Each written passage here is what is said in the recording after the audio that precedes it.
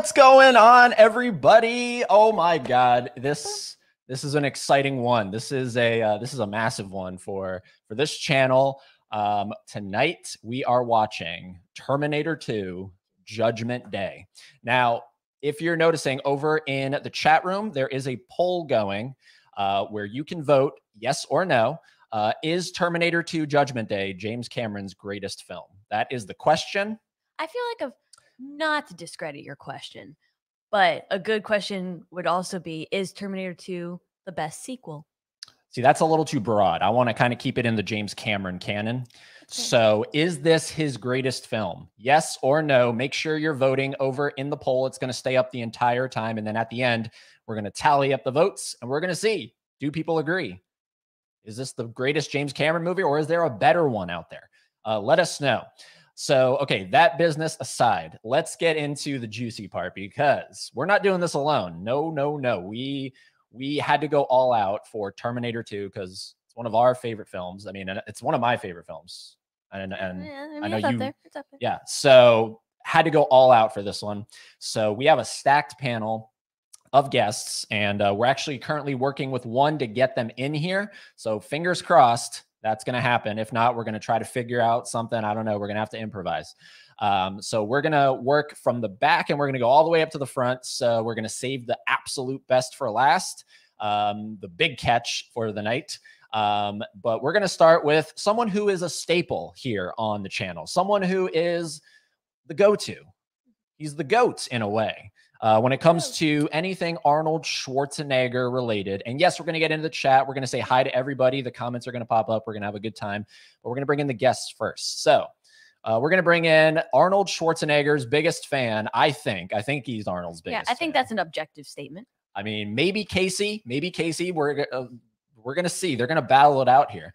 Uh, so let's bring him in first and foremost. It's our good friend Durant Cinema. Hopefully, he has a mirror with him. Yo, what is going on, guys? How are we doing today? How is it going? I'm gonna feel so out of place right now, Ed and Hailey. Why? it's gonna be insane. Well, because like you got all these great people coming on here, and then you just got this guy. You. yeah, exactly. Even my wardrobe doesn't make any sense. I got Terminator One, but I figured to throw on that uh, that leather jacket yeah. for the stream for T2. So, Absolutely. but either way, I'm I'm excited. Uh, thank you for having me on here. This is this is gonna be amazing. Uh, yeah, just dude. been anticipating, and uh, I got chills, and they're multiplying. So All right, let's go. Sweet. Um, I think the last time you watched this movie was like six months ago, right? On another watch along. yes, yes, exactly. Um, based off of that background, I I think it's safe to say you might be Arnold's biggest fan. But now we're gonna bring in someone Oof. else are you familiar with T for Two, the Terminator 2 show? No, I am not. No. Okay. So this is going to be great. This is going to be great because uh, this may be Arnold's biggest fan. We're going to have bring to bring him in here. Bring him in. All right, you said it. We're bringing in Casey Stelkin, aka the creator of T for Two, the Terminator 2 show.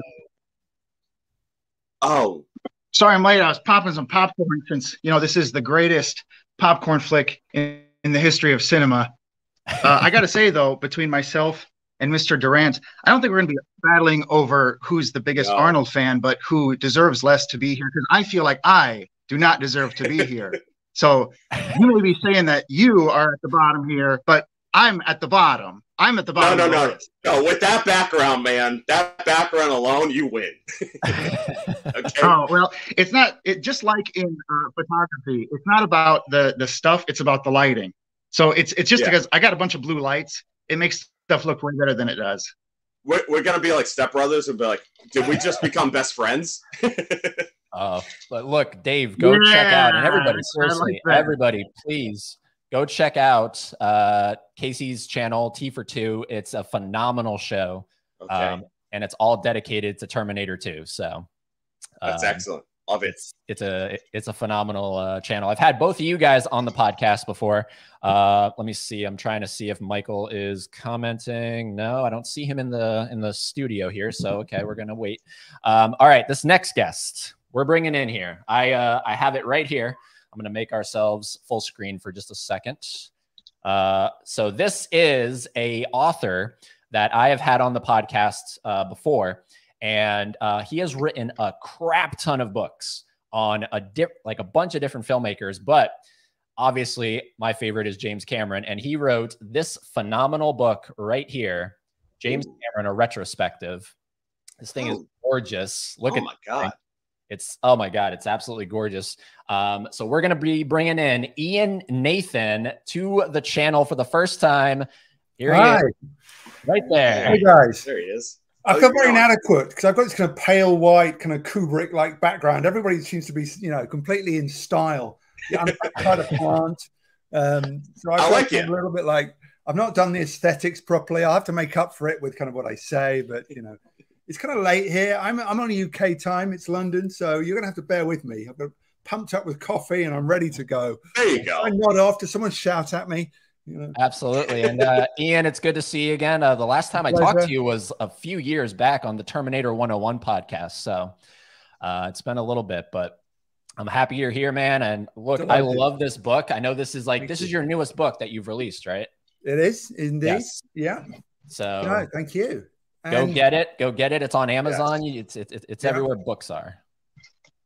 Cool. Um, so let's see. We're going to be bringing in. Uh, I don't think Michael's getting back to. All right. Well, we're going to wait for Michael, but we're going to be bringing in. Okay, this is the the the big guest tonight. This is somebody who worked directly on the film.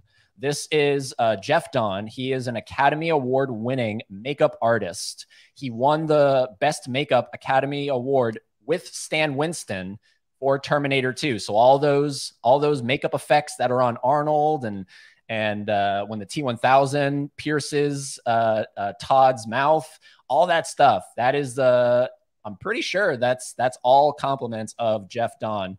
Uh, of course, working with the team that he was assembled with. Um, but here he is. We even have a drum roll for him because he deserves a drum roll. So here he comes. Are you ready? I don't think you are. It's Jeff Dawn, hey. everybody. Hello, everybody. There he is. Boy, after after that introduction, I better tell some good stories. yeah, seriously. And uh, this is the exact same background I remember because uh, the last time we talked was a few years back as well. But I'm pretty sure that it's same yeah, room. It's same spot. I do a lot of interviews, a lot of podcasts, and and, and, and uh, zooms here. Yes. Oh my god, I love it, Jeff. I love it. Who doesn't? Um, all right. So let's see. Let's see. What should we do first? We're going to get into some comments here. We're going to see who is joining us tonight. Uh, we're not going to get to everybody because I'm sure there's a lot of people in the chat tonight. Um, but we're just going to say hi to a few people that were here early on. We got Adrian James saying hello. Bob, hello. This is going to be fun, says Bob. Yes, yes. I, I yes. hope it is.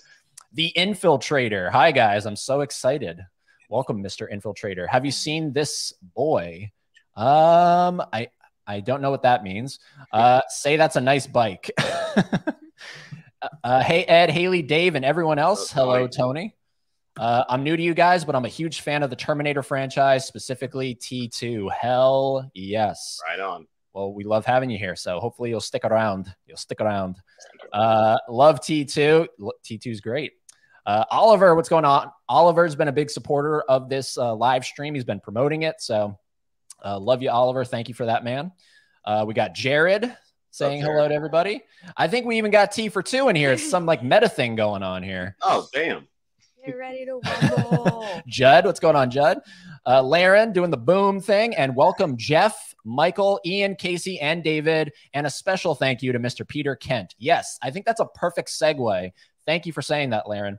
Uh, so initially, I reached out to Peter Kent, who is Arnold's official stunt double uh, from from the years 84 to 96 and I reached out to him because he uh, also was on the Terminator 101 podcast back in the day. And unfortunately, the times did not line up. Uh, I'm pretty sure he's on a vacation right now, but he did send a special video that he recorded to be played right here. Uh, so we're going to do that. We're going to play that. And nice. uh, and then we're gonna get ro- rocking and rolling here. So without further ado, ladies and gentlemen, not live but sort of live, Mister Peter Kent. Hey guys, I'm Peter Kent, uh, former stuntman to Arnold Schwarzenegger in many of his movies, uh, especially in T2, uh, where you're seeing my bike jump and truck transfer and uh, quite a few other gags. Uh, sorry I couldn't be there. Just wanted to say hi and give you a shout out uh, to Eddie and to my old buddy Jeff Dawn. hey Jeff, who applied the makeup to me, uh, the uh, dreaded mask, which I wore for the very first time in that movie. And uh, I think about 66 or more consecutive days of having that thing hellishly glued to my face. Uh, Jeff, uh, I curse your name still. Hope you guys are well. Enjoy the movie. Uh, it was a pleasure to work on it. It still is. Um, they're using my clip for the Rolex campaign now for the Academy Awards for special effects in the commercial. So uh, it, it lives on, and it is an incredible piece of work by all parties involved. Cheers, guys. Once again, Peter Kent, out. All right. That was awesome. There he is, Peter Kent. Uh, Jeff, can you talk to us just a just a little bit about Peter? Because obviously you worked with him, so we're going to make you full screen here. Anything you want to say about Peter? Well, Peter has been a friend of mine since we first met on Terminator One. I remember um, our casting people were desperately looking for a photo slash stunt slash um, stand-in for Arnold. And they came, this guy came to the set one night. Uh, this was one of the first nights we were filming Terminator 1 in 84. And uh, here comes this big, tall, muscular guy that had some similar look to Arnold. Peter is taller than Arnold, leaner, but he is very well built. He always was. And um, Peter is also very, very intelligent. Um, Peter, you're probably listening to this, so yes, it's a compliment, which I don't like to typically do for you, but um, that's the way guys talk to each other, I guess. Anyways, Peter ended up being the stand-in, photo double, stunt double. Arnold had many stunt doubles throughout his movies, including Peter um, and uh, Joel Kramer and uh, uh, um, Billy Lucas. Peter did some pretty death-defying stunts over the years with on Arnold films that I was there for. I actually went to the hospital, I think, twice with Peter to get this mask. Which just imagine you have a prosthetic that goes on just like this all the way around, and it makes him look like Arnold. You know, the nose, the chin, the whole bit. It really made him look much more like Arnold. And um, when he was injured, I would go to the hospital with him so that I could take it off because people didn't know what it was. How do you take this off? What is it made of? Are there glues that should be a concern? So I ended up doing that several times with stunt doubles, including at least twice with, with Peter. So Peter, if you're watching this, I, I respect you. You've done some death-defying things. I consider you a good friend till death. There you go. Yeah, no. Uh, Peter was uh, when I was able to talk to him. You know, he was he was just very informative and uh, uh, like you can tell, even though he is retired, I know he does. Uh, he he does a stunt school, right? To my knowledge. Yes. Yes. Yeah. He so he still is teaching this stuff to people up and coming. So uh, it's it's absolutely incredible. He's up in Canada, so um, it's just uh, uh, really appreciate you, Peter. If you are watching this, thank you for sending that clip in that we were able to play, just to kind of get you involved somehow uh, with this with this show tonight. So.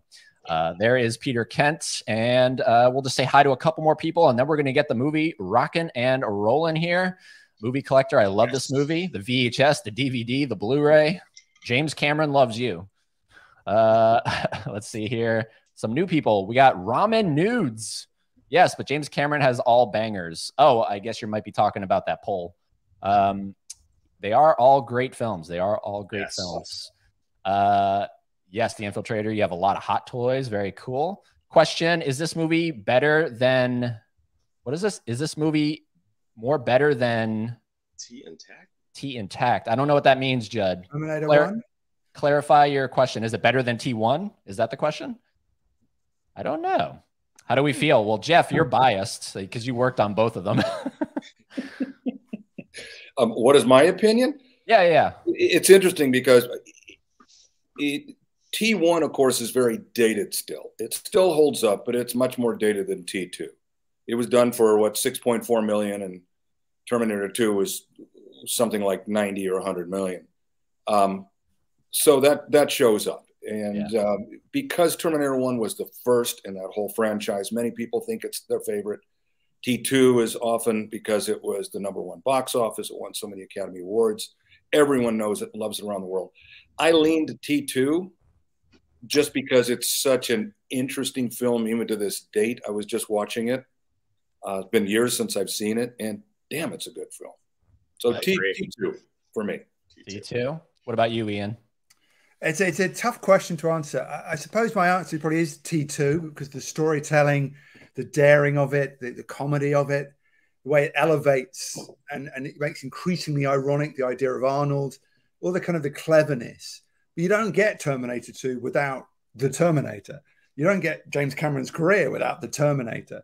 And there's something very pure about the original and compelling. And it, yeah, it has dated technologically, but as a piece of kind of linear chase story storytelling, yep, it's still pretty pretty amazing. Yep. Yeah. Uh, Casey, I think you're pretty uh, biased. well, actually, uh, to be honest, I, I I don't really participate usually in conversations about which one is better? Because to me it, there it's like chapter one and chapter two of one whole perfect finished story. It, it's i mean obviously i had nothing to do with making them. I was a little kid but it to me it's almost, almost like picking between my favorite of my two children you know? Yeah. Um and of course my favorite child would be terminator 2 oh my god like casey you took the words right out of my mouth. I was like it's like literally picking your favorite child Yep. It, it's so tough because like I was always a T2 person for the longest time, but I just caught myself watching Terminator 1 more often.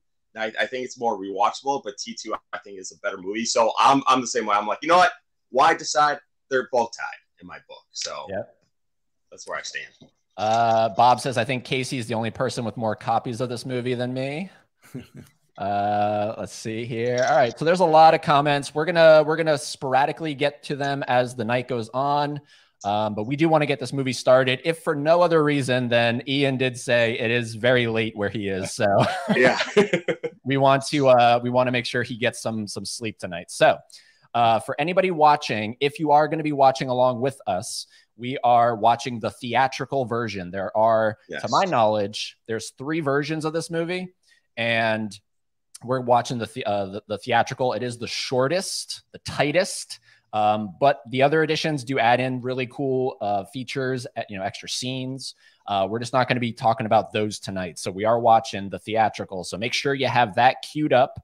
Um, we have uh, this uh, gorgeous Blu-ray signed by Mr. Robert Patrick. When I met him in person, uh, he couldn't be here tonight, unfortunately.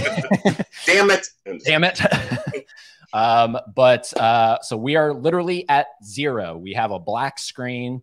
If we were to press play, keyword if, if we were to press play, Carolco comes across the screen. It does that nice little zigzag uh, yeah. logo. So that's where we are.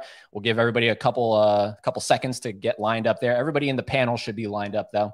Um, we're just going to quickly go around and then we're going to start the movie. Dave, the last time you watched this was six months ago. Uh, correct. Yes. Okay. Casey, when when when was the last time you watched it? Uh, it's probably been a few years, honestly. I'm constantly going through and skimming through to cut clips out for my yeah. show. So, like, I'm seeing bits of it constantly. So, I haven't sat down and watched it for probably since before I started the show. Perfect. Sweet. Ian? It's probably been about a year and a half. I watched it about three times when I was writing the book. So, it's still pretty clear in my mind, but it's been a, yeah, about a year and a half since I last watched it in full. All right. And Jeff? Um, I watched I watched the first hour of it starting about an hour ago. oh, nice. so, I will uh, when we get to the second half. I'm sure many things will come up. I will be chiming in here a lot because uh, when I watched the first hour, I went, "Oh, that story, that story, that story." I got a lot of stories to tell here. That's of which some of it is buried in the trivia and such an IMDb, and I'm sure your book and other things, you're going to be an expert on this stuff because I I can tell you what happened on the day on the spot from my eyeballs and ears. You know, all the other behind the scenes stuff I'm not that familiar with unless I were to research it. Perfect. That's perfect. Now that's that's exactly what we want to hear. Uh, quick update. I just want to see if uh, uh, Michael is saying anything here. I do believe he got back to me. I have you on my screen, but I don't think you can hear me. Um, I don't see you. Um, I don't think he's in. Here. He's not in here with me. Um, can you just quickly maybe type um, something here? Because uh, I just want to get the thing rocking and rolling here. All right, so we're gonna count down, and we're gonna let Jeff count us down because he is the uh, the super duper special guest. Everybody tonight is a super special guest, but he is uh, a super duper. So we're gonna count down from three, two, one, and when Jeff says play, we're gonna hit our play buttons. So okay. Jeff, take it away. Okay, three, two, one, play. Perfect. All right. There it is, baby. I'm looking at the horse. You're looking at a horse. The horse, yeah. The, the uh, so you'll be a few seconds behind. Yeah, because we have the Carolco yeah, uh, thing coming up. I can speed it up or slow it down by 10 seconds easily here. Yeah, yeah, yeah. Speed it up. Get to that Carol Carolco thing. I'm at yeah. Okay, now it says Mario Kassar. Yeah. Mm-hmm. Now we got intense yeah, music. L.A. Yes. in the traffic. The, yeah, the goddamn traffic. oh yeah, gotta, gotta love it.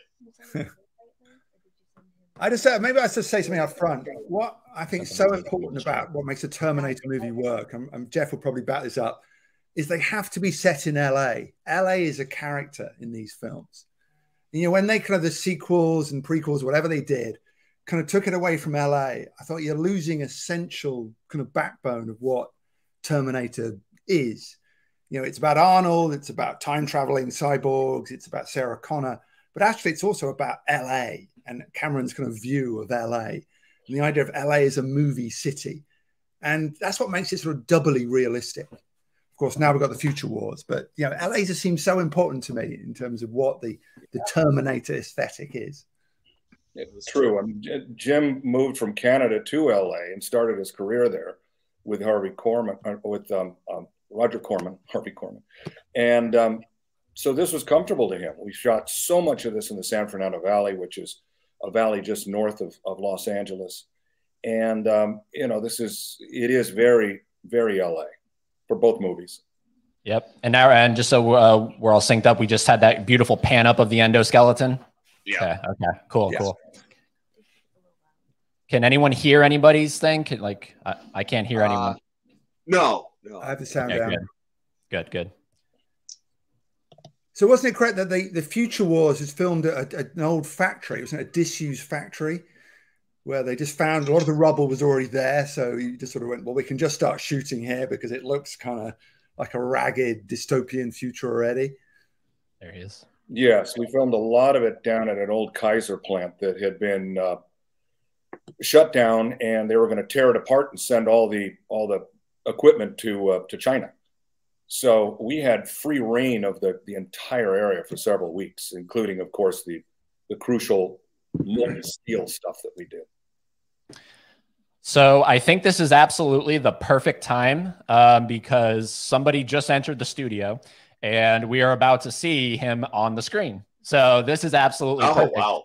Yeah. Like perfect timing. I think you might have done this on purpose. yeah, yeah. I was waiting for it. So, ladies and gentlemen, we can see on the screen right now. We can see this uh, behind this uh, behind the shoulder shot of a uh, gentleman who is old John Connor. This is John Connor in the future, looking through the binoculars, and now we get that beautiful close close up zoom. Oh yes. So we're going to be bringing in this this man right here who played Damn. John Connor, originated the role of John Connor. Here he is. He also gets a drum roll. Oh. Here it comes. Here it comes. Are you ready? I don't think you are. It's Michael Edwards. Hello, hey. everybody. Oh my God. I'm on. I'm on. I'm on. All right. How's it going, Hello, Michael? everybody. for being here. Do, doing great. On? Thank you. Sorry to take so long. It was just Excellent. a bitch getting on there. No, you're totally fine. You're totally fine. I'm going to make you a, a full screen. So right now, you're full screen. Uh, just talk to us a little bit about what this was like playing uh, John Connor in this film because um, you've actually reprised this role in a really good short fan film called Skynet, um, which is uh, yes. uh, which is linked down below in the description box. So anybody can go check that out. It's a phenomenal short film. But what was it like working on T2? It was uh, quite an experience. I, I I was dealing with martial arts in those days and actually, af- after I got the part, I asked my martial artist, I said, what, how, how do I play this role? It's some kind of a crazy movie about robots and, and mercury people that melt and then they come back. And he looked at me and gave me one of these real hard looks and he said, be the master. And, and that, that was what I kept in my mind through the whole thing. Just stay focused, know that you had the world on your shoulders if you didn't come across and do your job as the general, that the world was going to uh, come to an end and my children were going to die. and so I, I went out there and I, I just was the master. And, and it, oh. was, it, was, it was amazing because I had worked modeling also in those days, and I had done a modeling job the day before, which was about a week before the casting, and I had a, you know growth on my hair and I looked kind of rugged. So when I came to the shoot, James walked up to me and he said, "What the hell have you done to your face? I want your beard." I he was, I was like, "Oh shit, I messed up. I lose the job before I get it." and the makeup man was, I'm sorry, I can't recall his name. He said, "Don't worry." James, don't kinds of stuff we'll put on his face. He'll be rugged looking. And he put some kind of shoe polish or whatever they whatever make it men put on you. And James was happy and he said, Now you look like my guy. And that was it was touch and go for a little while there, but it was wow. it was amazing. He he kept me in the trailer for an entire day, all the way up till about three in the morning, because he wanted to get me exhausted looking and, and tired. And I, I was, it, it did the job because I was so pissed off. I was sitting there, you got me here early in the morning. And now it's like three o'clock the next morning. And finally I get the, Ed, you're, uh, you're on the set. Bye, Christina. Thank you.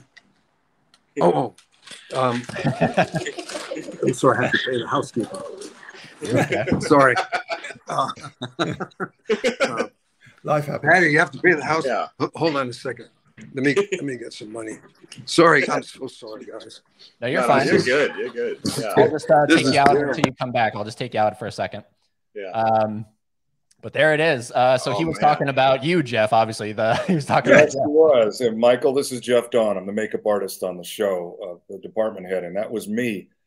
And yeah, back then we just threw a little bit of dark color on your beard to give you that look. Nowadays we have something called a flocker that actually takes tiny little microscopic bits of hair and glues them to your face. And we would have done that nowadays. But then, of course, the scar, too, the collodion scar that has become so synonymous with that character and all the other characters since then. Yep. All the other John Connors that are floating around. Yep. And yeah. even and even when he reprised the role, because I'm not like I'm not sure how many people saw that short film uh, Skynet, but uh, they did the same similar kind of makeup on his face there. Um, here he is. Here he is. Welcome back. Uh, we were just talking about that uh, short film that you did, Skynet. Oh, that that was uh, that was really cool.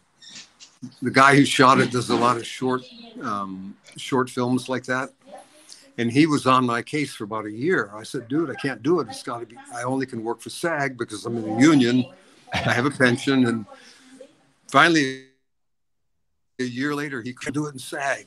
So we went out to uh, uh, a little, little, park outside of Los Angeles. Uh, I can't remember the name of it. It was an old uh, place where they had an old zoo and shot it like in 20 minutes. And I thought, okay, this is not going to be much. But when I saw it, I was very impressed with his work. Yep. And um, hope James Cameron sees it one day and goes, hey, let's bring this guy back. Bye. Sorry, this, this, is a live house here today. Yeah, it was. Uh, it's it's definitely a a, a great. Uh, it's about twelve minutes long. It's it's a, it's yeah. not super duper long, yes. but uh, it is linked down below in the description box. Anybody has not seen it, uh, go check it out. It's it's uh, it's great stuff. Um, now I know Michael, you don't have the film in front of you because you are, like you said, you are on set. So yes. um, uh, and uh, you did say you can't stay so long. So whenever you uh, uh stay as long as you want, if you want to leave now, it's, it's, totally I'm, up to I'm, you. I'll, I'll probably check out, but I just, sorry it took so long. Just trying to get into this thing. I didn't have Chrome or Firefox and all of that on oh, my computer. Fine. And then it said it wasn't compatible, but enjoy the movie. You guys are great. You're all wonderful creators. And uh, Eddie, thanks so much for bringing me onto this thing. I appreciate it so much. Absolutely. Really, Thank you, Michael. Really, and I really hope to talk to you again soon. I hope to talk to I you hope so. Soon. I hope so. Thank you. Have a good one. Take care, Mike. Thank you. All oh right. man, that's cool. There he is. Now you are you looking at the shotgun going off now? Yep. Uh, Arnold yeah. just turned around. He's looking yeah. at Yeah. Yeah. I remember this this guy we had. He was a you know real biker. I'm sure he did some acting on the side, but he wasn't used to being directed. And James Cameron, who he knew, no nobody knew who James Cameron really was back then. Jim gave him some advice and he goes, That's not the way you would have shot a shotgun. you would have done it like this, you know. And everybody in the set kind of went, "Ooh, he's talking to James Cameron that way," you know. And then, okay, let's just alter it a little bit like this and this. Here's the tough, tough biker dude that doesn't know who this, you know, he, he just thinks it's some sissy, you know, filmmaker, you know, here today, gone tomorrow. That's great. That's not how you shoot a shotgun. yeah, yeah. And everybody just stopped and went, "Uh oh," and Jim was like, ah, "That's cool. All right, let's do it this way." he picked his battles. And now we're getting the introduction of the phenomenal Robert Patrick. Yeah. Oh yeah. Mm-hmm. When when we shot this downtown Los Angeles, it was like four in the morning. It's going to be light soon, and there's a a, a, a, a train right there, train tracks right beyond, right there. You can see those are train tracks on the other side of the uh, the, the chain link fence, and you had commuters coming and going in and out of LA, and all of a sudden here's a completely naked Robert Patrick standing there and fully lit because it's a film set. Yeah. And this train very slowly pulls past. And all these faces are just looking like, what in the hell is going on? and Robert Patrick's just standing there waving. Hi, folks. Hi, have a good That day. is that is great. Could you imagine all the stories that they tell the moment I they like they get back home or whatever? Like, I Yeah. just saw a dude naked. right. And, and you can see it's a film company because there's lights and everything there. But at Yeah. the same time, it's like, what's going on? Maybe it's a porno or something. Yeah, yeah. A T two porno. yeah. Like, this, you can imagine the train going by right there. Now, if anybody's watching the 4K, I- like I don't know if anyone's watching the 4K, but uh, this scene right here, where you can you can kind of see Robert's uh, stuff. um, Oh, uh, I never noticed that. apparently, apparently Cameron went back into the movie when it was re-released in theaters, and they they put like a like a rock there or something. so it uh it it got rid of that because apparently that's like an X-rated shot or something. I had no idea either. I heard about Yeah. that too. I, I never even knew that. Right? Is anyone watching the 4K? No. I just saw. I just No, saw. I'm him. actually- now, now, Jeff, that you do know it. Now, every single time you're gonna be like, Oh, that's wait, it. wait, Yeah. you're like, wait, do I see it? Oh, it's bad. It's bad. Yeah, I think I might see it right there. Yeah, people say, "Oh, you did Terminator 2? Yeah, the one with the junk in it. Yeah, yeah, the one with the jug. the one with the junk. That's great. Eddie You know, uh, David, you, David, you mentioned uh, T2 porno, so I just I have to mention the Penetrator. Maybe we'll do a watch along on this someday. It's Casey pulling out the T2 Ponar. All right, that'll be that'll be next after this. So stay tuned, everyone. the penetrator. of course, one of Arnold's favorite actresses here. He's used in several things, including Yes. Aliens. Yes, that that still blew my mind. It was Yeah. like, oh no, this is the same That one. I was like, wait, what? That's crazy. Yeah, she, she doesn't look so tough here. And then uh, Ed brought up because uh, we're Walking Dead fans, and Ed was like, "Oh yeah, he was in Walking Dead." I was like, "What?" So that Yeah. blew my mind as Yeah, well. Todd. That's Xander Berkeley. He played. Yeah. um Who the heck did he play in The Walking Dead? What's his name? The um He's the guy that runs Hilltop. I forget the guy that runs Hilltop. Yeah, Gregory. Gregory. There we go. Gregory. That's it. Yep. Uh, so that's really cool. And here we go. Save the best for last. Linda Hamilton. Yep. When, All, when's of she these, coming on? all of these scenes were shot in the San Fernando Valley so far. She How she trained with far- a like commando, didn't she? Like Israeli commando trainer. Like, yeah, she, she took it seriously. The story was that Cameron went to her and said, "I'm going to do T2. You've got to come back. It's all about Sarah Connor." And she went, "There's only one way I'm ever coming back." She had, had a tough time, I think, on the first film. And she said, "I got to be crazy. I'm going to play it crazy." And he was kind of like, oh, "Hold on, hold on." And he went away, and and you know that camera and processes kind of returned, and he went, "Of course she's crazy." She's the only person on earth who knows the world is going to end, and no one believes her. You know, if you experience everything that you experience in Terminator, you're going to be nuts. So he came back and went, "Yeah, Linda, you're crazy. That's great. You're crazy." And she just went crazy. Crazy. And the idea, I think, in the film that he liked is that even Linda Hamilton didn't know if she really was crazy or she was just playing crazy. They were never quite sure exactly how the role worked. Mhm. And that's great because we're never quite sure. Is she actually tipped over the edge or is she just kind of stressed and Yeah. how nuts is Sarah Connor in this movie? now, so far, uh, Jeff, you're like right now, you're really not needed in the film, correct? Uh, well, everybody, yes and no. Keep in mind, everybody here, including the blonde woman with the glasses behind, who's who sticks her face in here. That's Arnold. That was Arnold's personal uh, assistant for years on many films. Anna, right there. Really? Yep. Wow. Jim did that a lot with people. Hey, come here. You're going to be in the movie. That's awesome. Like that here, that are that are crew members that are in the movie. Um, but of course, everybody every day goes through makeup and hair. You got to make yeah, them look yeah, like yeah. they did the day before. You know, I mean, obviously Robert Patrick's hair is very heavily styled. it looks good. He has, he has very little makeup on because he doesn't need it. And Robert trained like a madman. He was just ripped to shreds when we did those those scenes. You know, he would literally do hundreds and hundreds of sit-ups a day, and was really a physical specimen. And the nicest guy, you guys probably know this because the industry talks Robert Patrick is one of the most professional, nicest actors on the planet. Wow. Yeah. And but I mean, he's been in. Uh, uh, he was also on The Walking Dead. Michael Biehn was on The Walk. It seems like mm-hmm. everybody from Term- Terminator Two was on, or Terminator was on The Walking Dead. Um, now I'm gonna pull up some photos here. Jeff sent us some photos that uh, I'm gonna pull up here, and uh, we're just gonna, uh, if you just want to comment on them really quickly, uh, sure. we're just gonna kind of randomize this. Yes, um, this is myself and my assistant, Steve Laporte, another Academy Award winning makeup artist that helped me on Terminator 2 and 3. And we are doing an old age makeup on Linda Hamilton for the alternate ending that we never used, where it cuts forward 40, 50 years. The planet is safe. You know, we see um, a, a non scarred um, John Connor, played by Michael Edwards, in that futuristic scene that we shot in uh, in in LA, and uh, you know he just decided no, I don't want to. I don't want a happy ending like this. I want to keep it open. It's a good thing he did because look how many Terminator films we've had. Yeah, I see you, Casey. I see you. Uh, we also have this photo right here. This is a yep. good photo.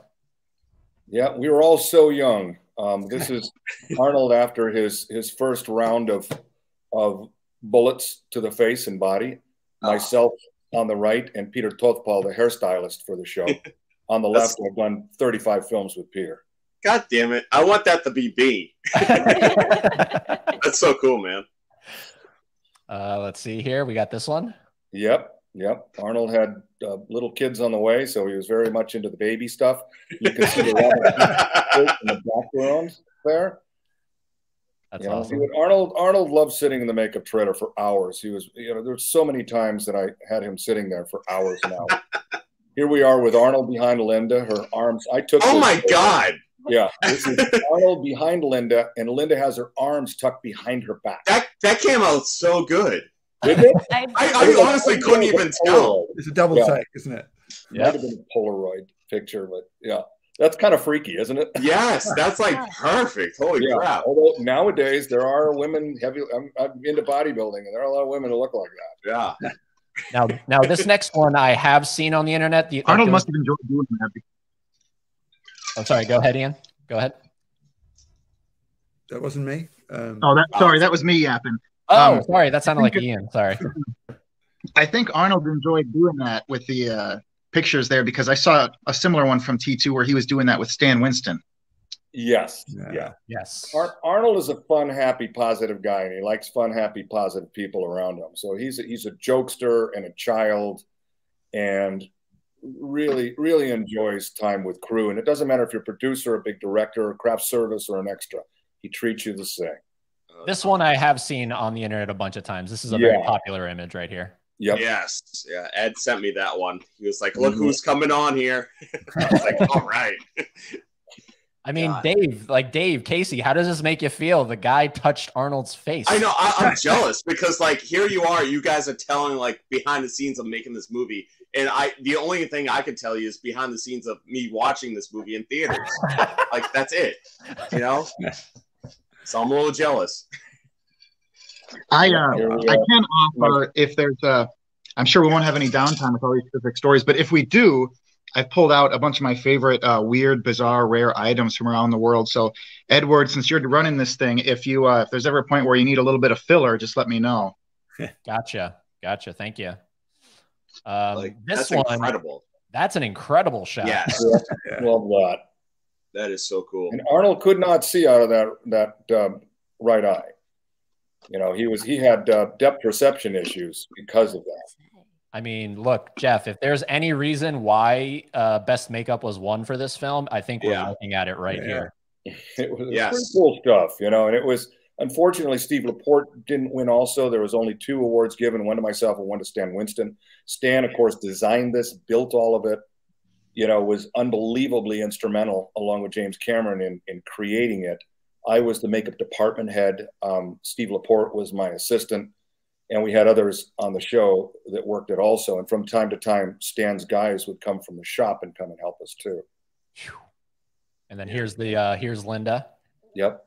that was back in the day when all prosthetics were done out of foam latex, Boy, the same cool material that used on you know Wizard of Oz, and it was the the status quo back in 1990. Since then, we still use foam latex, but since then, gelatins and silicones are vastly better just because of their realism. Yeah. Man, that's great. There they So, sure in other words, that's all uh, surely dissolved and gone by now. if anybody hung on to Oh yeah, yeah, yeah. The foam latex does not hold up well, and you know when you take the pieces off, most of the time they went in the garbage. I wish I saved them. I saved a few of them that I gave to charities years ago. Um, but um, yeah, they you know at the time it's garbage. You pull it off, you throw it in the trash, and now I wish I had these. Yeah, right. When, when I did the Star Trek films, Leonard Nimoy would always ask for the ears to come off very carefully, and he would I would powder them and put. I did probably eighty of his applications over three different films for Spock, and um, he would ask for them to be put in his little Ziploc bag, and he would have those. Um, he would get a lot of money for for charities for those. I thought that was so Wow. cool. Yeah, yeah. Yeah. Cool.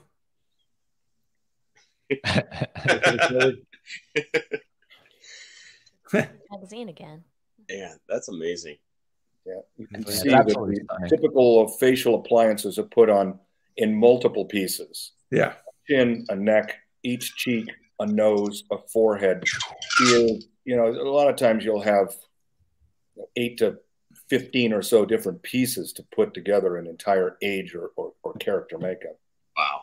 How long would something like that take? This took about two and a half hours for this this level right here. Um, once he reaches the very end, it was more like four. Wow. Because then it was some Wow. pretty massively, you know, torn up skin.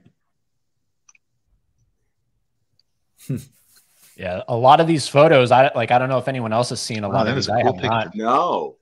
That's a good one. Because I, I took a lot of them, and you know, I've sent them off to different places that have done articles and, Yeah. and such. But there's probably a lot of them here that nobody's seen. Yeah. Our crew. We barely Barely survived. survived. You see the guy in the front right down at the bottom that has the dog bone around his neck? Yeah. That was our prop master. And when you'd screw up on a James Cameron film, you were boned. He was Oh. boned at the monitor. And if you slowed down production or screwed up, you get, of course, nowadays, you know, HR would be crying. yeah. Back then, you screwed up and you had to own it. You wore it for the day. And everybody knew you screwed up. Damn. Oh. That's fantastic. I'll tell you, when you, when you finish a Did not James know Cameron that. film, you're never better at your craft because you're really 24 7, you're thinking about it. You're living it like he is because you don't want to wear that thing. I Yeah. never wore it, but I had some embarrassing stories that happened on Oh my God. there you are with Linda. So now I finally understand. Uh, I, I had heard stories about uh, some kind of crew T-shirts. I've never seen pictures of them, but some kind of T-shirt that said "Don't bone me" on it, and now I finally understand Yeah, what that means. That's it. Uh, Yeah. Yeah, Linda had a saying on T2, T3 without me. Well, she, you know, I'm sure she said that after T1 also, but she's been in what, three films, four films now? and you, uh, Jeff, you worked on T three, yes? I did. Yes, I did T3 Yeah. also. Yep. with Jonathan Mostow, which was never destined to be a James Cameron. You know, it, I think it holds up well on its own, but in comparison, it doesn't. Of course. Yeah, yeah, mm-hmm. yeah.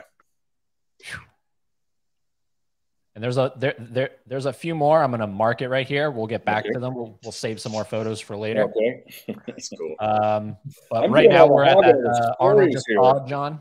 Arnold just saw John. Oh, and uh, they got the good old Subway cups going yep, on Subway. there. yep.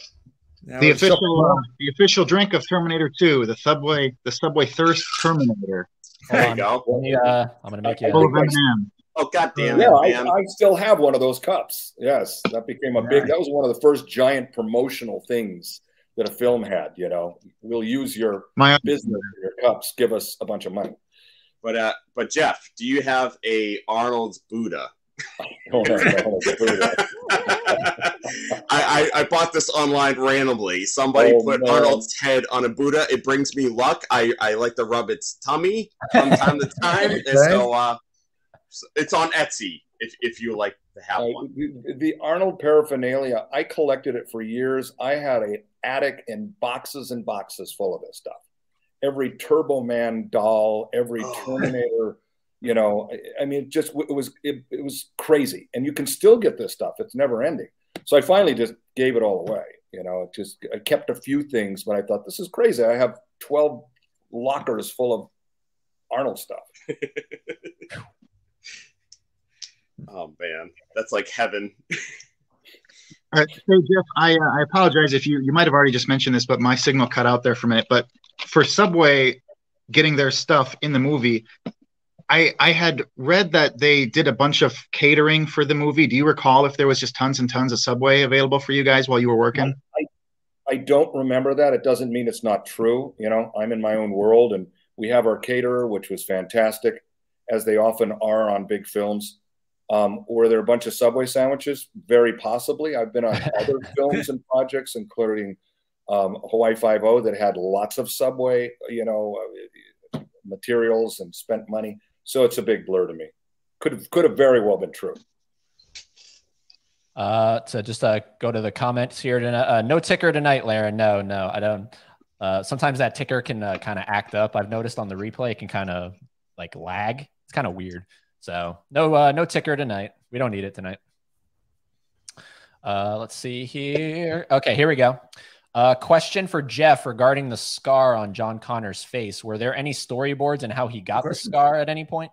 No, just a quick note here. This is a good friend of Arnold's that gets shot here. His name is Hiro Yamagata. He's a very famous Japanese artist that makes, I mean, he owns his own island, he owns his own jet. The guy makes $100 million a year. Wow. Super nice guy. He'd show up on the set all the time with paint all over his clothes, looking like he, you know, was living on the street. And Arnold put him in the movie. Said, "Here, you're going to take some, you're going to take some, uh, some, some bullet hits." He said, "Sure." um, the scar, no. Jim just said I want him to be messed up, and I'd done that with other things with Jim.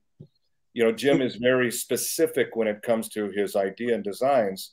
But although Jim is an outstanding artist, he he understands makeup, but he doesn't want to get too involved with this is exactly what I want. I said, let me give you something. The first thing I did, he loved. I just went big with it. It's called a collodion scar. It, it just gathers the skin together and puckers it. We still use it today. Um, the other scars in the other movies since then, including Terminator 3 that I did, were done with prosthetics that raised the skin up so you had an indentation in there. But back then, it was fast and dirty and very, very functional. Wow. Now, right here is William Wisher, right? There's sure William is. Wisher right there. Right there is taking the picture. Yep. Right there, Bill Wisher, who was also one of the cops in Terminator 1. Yep. Yeah, that's pretty cool. Per rider, yeah. An old, old friend of Jim's, isn't it? They used to have Sheriff Flat back in the Roger Corman days and the, the, the Terminator days. I've, I've watched a couple of interviews that Bill does in the last few years, and he really does a good interview. He's very intelligent. Yeah. He knows the business well. He's well, well you know what's you know what's funny? I reached out to him because he was on the Terminator 101 podcast, and so mm-hmm. I figured I'll I'll try to get him on for tonight. His reply back, Eddie, I'm T2'd out. How can anyone be T2'd out? I suppose you yeah, right? created one of the co-creators. Yep. Because he, he tells a great story that you know, they set up the film, and Cameron was sort of convinced by Mario Kassar to to do it for six million dollars, which was the most amount any director got at the time. And so he, Cameron thinks, I need William Wisher's help because he helped me on the first film. He kind of calls it, you know, and he does no preamble, just goes Terminator 2 to William Wisher, and he's kind of over. William Wisher comes over to his apartment or probably a, a house by that point with Cameron, and he just has an old yellow notepad. It's like a legal notepad with you know, one sentence written on it. John Connor is a boy, and the Terminator comes back to befriend him. He goes, "That's what I've got," and they had to start from there, you know, and they had to start developing outwards.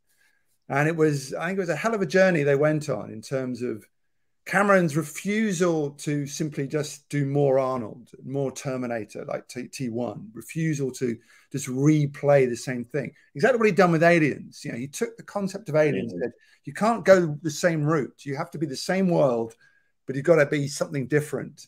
And of course, multiplication was the thing. Many aliens, two Terminators. And I think there was a plan, and Jeff, you may know some of this. I don't know how much in pre production you were involved, but the original or one concept was they were going to have two Arnolds. So bad Arnold and good Arnold were going to be sent back. And I think uh, Cameron started to worry that got, would get very gimmicky and you'd have trouble telling them apart. So you'd have to damage one and keep the other one okay. And I think the other thing he thought, the one thing he needed to do with Terminator 2 was make Arnold an underdog. I mean, that was about the hardest thing you could do in movies in the 80s and 90s was somehow transfer, turn Arnold into an underdog. So yeah. I have to have something that was conceptually going to you know make Arnold look weak and vulnerable. Mm-hmm. That was the biggest challenge in movies because the whole iconography of Arnold, as you guys know, at that point was he was the toughest guy on the movie screen. Nothing yeah. could beat Arnold. Mm-hmm. So what a concept to come out a sequel and go, I'm going to invert not only the idea of the Terminator, but the whole idea of Arnold Schwarzenegger. I'm going to flip it on its head and make him a vulnerable guy or a vulnerable Terminator. Yes, the Robert the Robert Patrick Terminator is a vastly superior Terminator. Yeah, yeah. We we spent weeks in these. This is in the San Fernando Valley, mostly in Northridge and Reseda, and uh, we spent weeks doing this. It's for the most part all practical, as you can see. The stunt driver we had for the Robert Patrick here I had to glue little pieces of foam behind his ear to stick his ears out because Robert Patrick's ears stick out further. So it look like him in a cutout, in a kind of a you know outline, which really is what matters for double. Of course, we styled his hair that way, and and we popped his ears out. Fantastic. Now, Casey, you have a really good video on your channel where you uh, talk about that flip that Arnold was doing with the shotgun. Casey's like, no. Oh yeah, yeah. I, I uh, did a whole episode on the Winchester 1887 shotgun, like the history of the the gun itself, how it was depicted in the film, and how the flip cock worked and stuff. Yeah, thanks for pointing that out. That was a a really fun one to put together. It was frustrating because it was a ton of work, but I'm really happy with how it all came together. Yeah, it's great, man. It, it just looks great when he flips it around. Oh, yeah. Yep. Now, Jeff, that wasn't Peter Kent right there. Who? Who? No, who uh, that uh, wasn't Peter Kent. Peter Kent was the one that did the the, the, the bike jump. Yes. Um, Peter Kent is a good motorcycle rider, but not an expert like you want for something like this, because that was a practical. Uh, was a practical effect, and these were gotcha. very, very dangerous. Um, that's Peter. Some scenes um, blue screen or with rear projection, but for the most part, this was all done practically. Oh, That's Peter Kent right there driving out of the exploding. And that was all done practically. It was a big ass explosion. Uh, right here, when he puts the shotgun back, one of the times he nailed Eddie right in the head. Yeah, he nailed him in the head. yeah. You can see it. he almost hits him here, but not yep. quite. Yep. Uh, Whoa. Funny. It's funny. He just hits him yeah, didn't leave a mark, but it was like, ow. we all laughed. And here we go. ILM coming there to the is. rescue. GTI is, is given to us. Mm-hmm. It still looks one good. Many, I know say it dates and it's you know we now have Avatar and all these kind of leagues. That Smear still looks great. You don't doubt it. Does. it. You're in it. It does. Yep. And you, you figure that this was created from scratch. Nobody knew how to do this. Yeah. Yeah. Back then, you know, mimetic polyalloy. Brilliant. Now, Jeff, do you wish you would have uh, been able to? Because I know you worked on T3, but as far as I'm aware, that was your last Terminator, right? It was. I was asked to walk work on uh, Terminator 4. I was about to start a movie with uh, Bruce Willis called Surrogates. Um, so I wasn't able to do it because John Rosengrant and uh, and Shane Mahan uh, Legacy, which used to be Stan Winston, ended up doing it, and I think done all the films since then. And they had called me, and I wasn't able to do it. Got it. Would have loved to have done it, but at the same time, I've done three Terminator films. Yeah. You know, little little bit of sweat in his hair. That's that that oh, hair yeah. of his. Uh, yeah, I, I don't know if, uh, if everybody's familiar, but but Edward Furlong became a huge star in Japan. I've got a bunch of uh, random Japanese. This is a t- this is one of many many teen magazines that he appeared on in Japan. And um, if you guys aren't aware, he even had his own album that was released only in Japan. This is a, a video store. really? Wow. Yeah, yeah. Eventually, I'm going to do an episode all about his uh, Japanese music career because there's a lot of fun stuff to uncover there. But he actually had two albums. The first one was called "Hold On Tight," and the second one was called "The Happy Prince and My Grandfather's Favorite Poems," which is clearly wow. very Japanese sounding. So they were released only in Japan and just specifically, I think, for Japanese teenage girls who still love him today. Like I still see yeah. if I'm looking at Japanese, uh, I, I spend way too much time on this weird obscure shit, but I'll be looking at posts from young Terminator fans in Japan who are still going and getting what they call the Edward Furlong haircut. They still today like that's a popular haircut in Japan. now, uh, now, Casey, which album do you prefer? uh, I prefer Hold On Tight because it's a bit more romantic and dreamy, and it kind of just okay. makes you feel like uh, you're connected to Eddie. There you go. Which is something we all want. Exactly. Yeah. That that hair of Eddie's, Jim loved it because he was constantly in a close up, wanting him to be a little sweaty, his hair to be a little wet, and wanting some tendrils of hair to be in his face. You'll see it constantly here. And that's Jim at the last minute getting in there and just going, All right, this is what I want. uh, we have a question from the infiltrator for you, Jeff. that is that beast?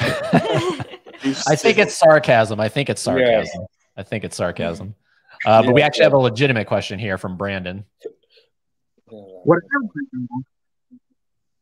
Oh.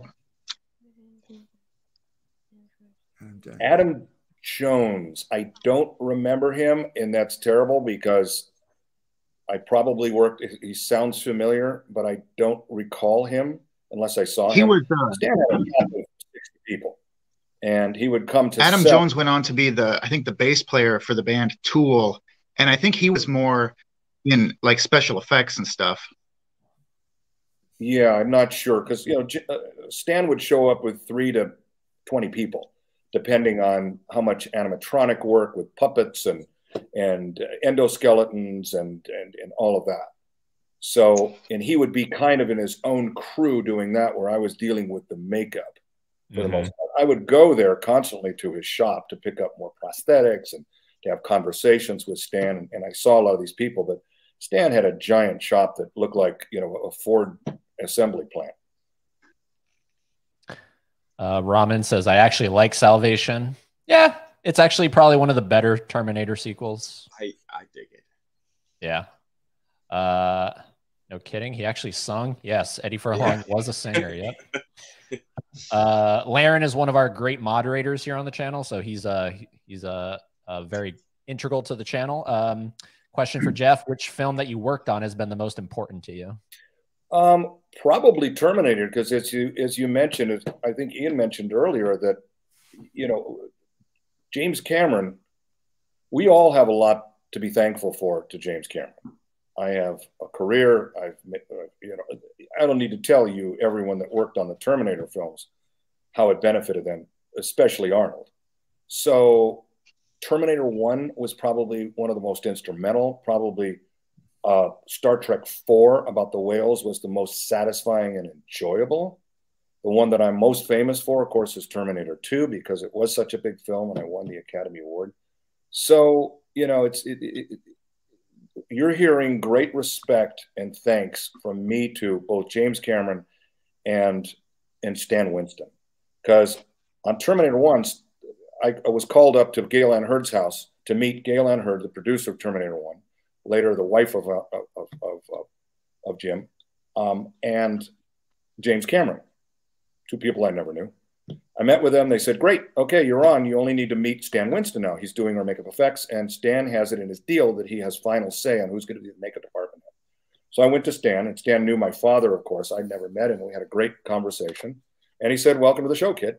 So James Cameron, of course, Arnold, because I did 20 films with him, but Arnold and James Cameron are the ones who, you know, should be chiseled on my gravestone. Fantastic.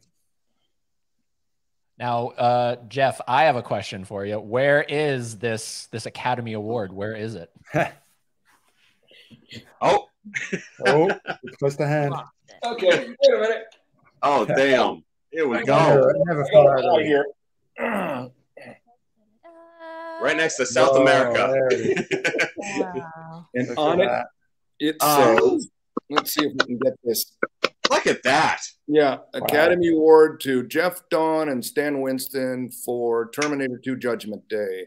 Well earned, man. Well yep. earned. That's amazing. Unreal. How much do you see that weight? It's very heavy. Everyone that touches it goes, that's it, it's as heavy as it looks, thinking that it's going to be like a dumbbell, a solid dumbbell. You get some, you I don't some use curls. it to pound nails. I, I do a lot of building. Luckily, I have enough hammers. I don't have to use it. That's but awesome. I'll tell you that not many people have seen that. I don't carry it around. I don't hang it from my neck. But when my kids were young, and I would go to their schools to do demonstrations and such, you know, putting beards on girls and blood on everybody and tattoos, and I was I was the cool dad. I would bring that, and the kids loved it. They would love it. They line up to hold it. I'd have my son or my daughter responsible for it, and they would line up to hold it, and then they'd take pictures, and they'd move on to the next. And to this day, you know, 20, 30 years later, I go into Bend, Oregon, where this was all happening, and I meet people that are now adults. They go, I remember you coming to our school when I was 12 years old, and you let me hold the Academy Award. That's why that's important to me. Yeah, yeah, yeah. oh, yeah. Literally everybody in the chat room is just wow. Ooh, beautiful, amazing. Well earned, Jeff. Thank wow. you. Thanks for showing that, Jeff. A quick That's note great. on that. I feel I feel of course fortunate to have this. Who wouldn't? It would only be pure arrogance if you go, damn it, I earned that. I should have won it every year. I was fortunate to be one of the dozen people or so in the world that could have been asked to do Terminator 2 that would have won that award. Um, am I lucky? Yes, to be that person. You know, I had to have some skills to be able to bluff my way through it every day, but I was very fortunate. You know, that's awesome. Uh, one of our other great moderators, Nadia, I would find a way to show that award in every conversation I had. it's it's funny how many people, Jeff, bring it, bring it to the next gathering of this. Or it's like, no, I'm not going to just. If that walks in the room first, then that's who I am you know yeah i've been i've been on several productions over the years where nobody even knows about it i was on uh i was on uh, uh, hawaii 5 as the makeup department head for three years until somebody yelled out on the set damn it jeff you should know better you're an academy award winner and everybody looked at me and went what I love that. Let them accidentally figure it out. That's cool. Yeah. I'm proud of it, but at the same time, I love it when that happens. Yeah. Jeff, Jeff, can you bring that to Massachusetts to me? Sure. Well, now, so I can touch it and I can feel that experience. Well, right. Here, yeah. You think you think it'd be too much just to bolt it on the front of my car? With a hood ornament. I would, I would wear it as a as a necklace, but it thing weighs ten pounds. Well, now here's the cool thing because Jeff sent some other photos, and that's a perfect segue. So here we go. This is from the the night of the Academy Awards that he won. Yeah, right there. Dan, the great Stan Winston with you. Yep. Oh man, that's great. Yep, right there, right there. And I think my favorite photo that you sent. yes, Stan won it for best makeup. Oh wow, that's cool. Special effects that night, and this is one of the after parties. This was at Spago's um, in L.A. Yeah, it's funny after the after the Academy Awards, everybody goes to different restaurants. Well, needless to say, when you walk up to any restaurant and you have one of these in your hand, you go to the front of the line. because they want you in there. Yeah, this yeah. guy right here, the security guard, I don't know if everybody has it on the screen. He was one of our stuntmen and one of our um, one of our um, tactical guys because he owns a tactical school. Of course, we had um, Uzi Gal, that was his name. Uzi Gal was our trainer of Linda and everybody, and our actual weapons expert, who was ex um, Israeli military.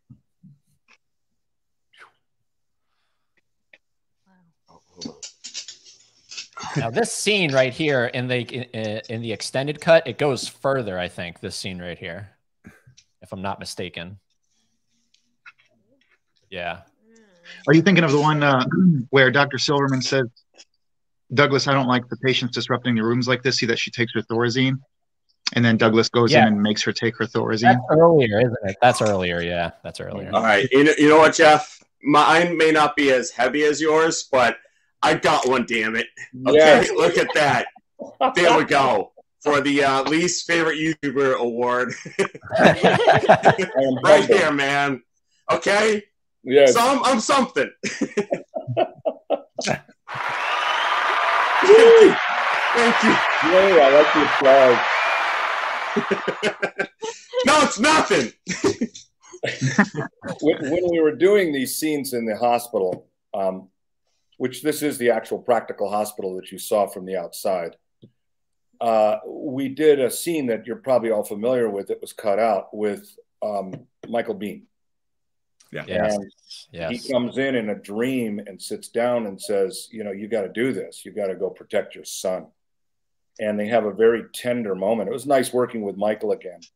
And I guess Jim didn't have the time or just didn't, you know, feel that was necessary in the film. But it was a nice scene. Well, that's why I, who gives her the drive to you got to do something now. You've done nothing for a long time. It's time to do something. That's what I like. That's why I like the extended cut to a to a certain degree because there mm-hmm. are those great moments like that. Um, and then there's like other moments like the thing with the security guards that I just think is totally unnecessary. So it's sort of like you get a mixed bag when you watch the extended cut yeah. to T2, you know? Like yeah, I'm with you on the. Uh, I was going to say, I like the fact Sorry. that you don't you don't have any prelude with Sarah Connor to the arrival of the plot. I mean, she's kind of going through her thing. I just like the fact that these Terminators just kind of turn up again and it all just starts kicking in. So the Michael Biehn thing for me sort of gives her a bit of a kind of a nudge into the story. Like she's yeah. kind of fate is getting involved. I just like the fact that the first thing she sees, you know, is, is Arnold coming yeah. to her. Mm-hmm. And she goes, mm-hmm. It's happening again. Yep. And then of course everything flips on its head because there's Robert Patrick as well. But um, just Which... a, a, sort of sustained sequence. Yeah. And one of the things I think Cameron is peerless at, and I mean absolutely peerless, is he doesn't do action sequences. He does sustained narrative moments that contain mm-hmm. huge amounts of action. But to sort of say an action scene starts and finishes is completely wrong in Cameron terms. They are so tied in with how the story is told and how the story generates and how peril is generated that the action is just another storytelling tool you know in his vocabulary it's just a natural outcome of what's going on and this sequence is just you know it's like a sort of piece of orchestration yeah how it slowly builds up to the kind of the arrival of the two terminators of course it's full of cgi as well which was dazzling but it's mm-hmm. just to appreciate the filmmaking and Cameron gets written about like he's an action director, he does blockbusters, he does this, that, and the other. But actually, he's a supremely good technician of story, if you want to put it that way. He's, he's just he's like Spielberg. He just has an instinct for what makes a story work visually. Of course, these these are identical twins. This was nowadays it's a visual effect, split screen, whatever. These were two guys that looked exactly alike. No way. mm-hmm. Yeah. Yeah. Yep.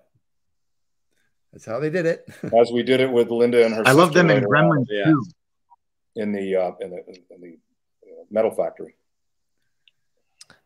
We should say something about Earl Boen, shouldn't we? He's around somewhere, Earl Boen, because he passed away quite recently, didn't he? About in the last year. And uh, Dr. Silverman is he obviously he's another kind of through line through T1.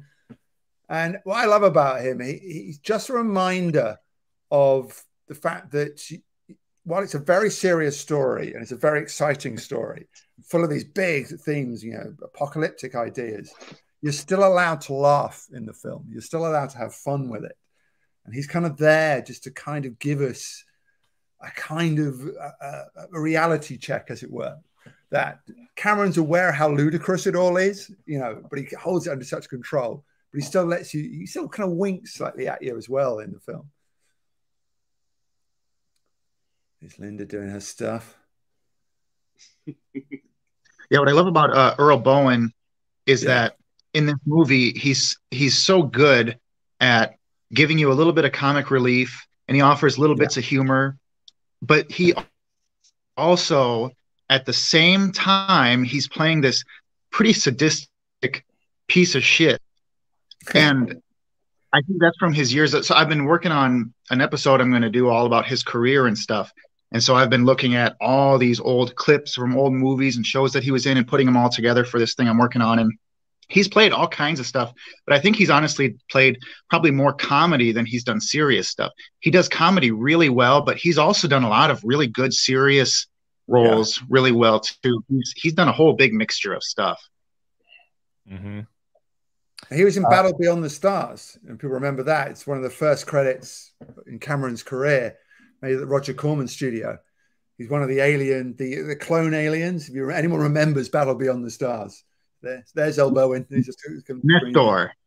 The Nestor, yeah, and yeah, that was obviously you know where Cameron was one of the model makers. It's where he got his big break and all those kind of things. But Earl Boen goes right back. We're getting getting his arm broken now by Linda Hamilton. Oof. Uh, Caleb is asking, uh, did you receive the uh, the Oscar from Christopher Lloyd? Yes, Christopher Lloyd and Rebecca De Mornay. Cool. Wow. Oh man. yeah.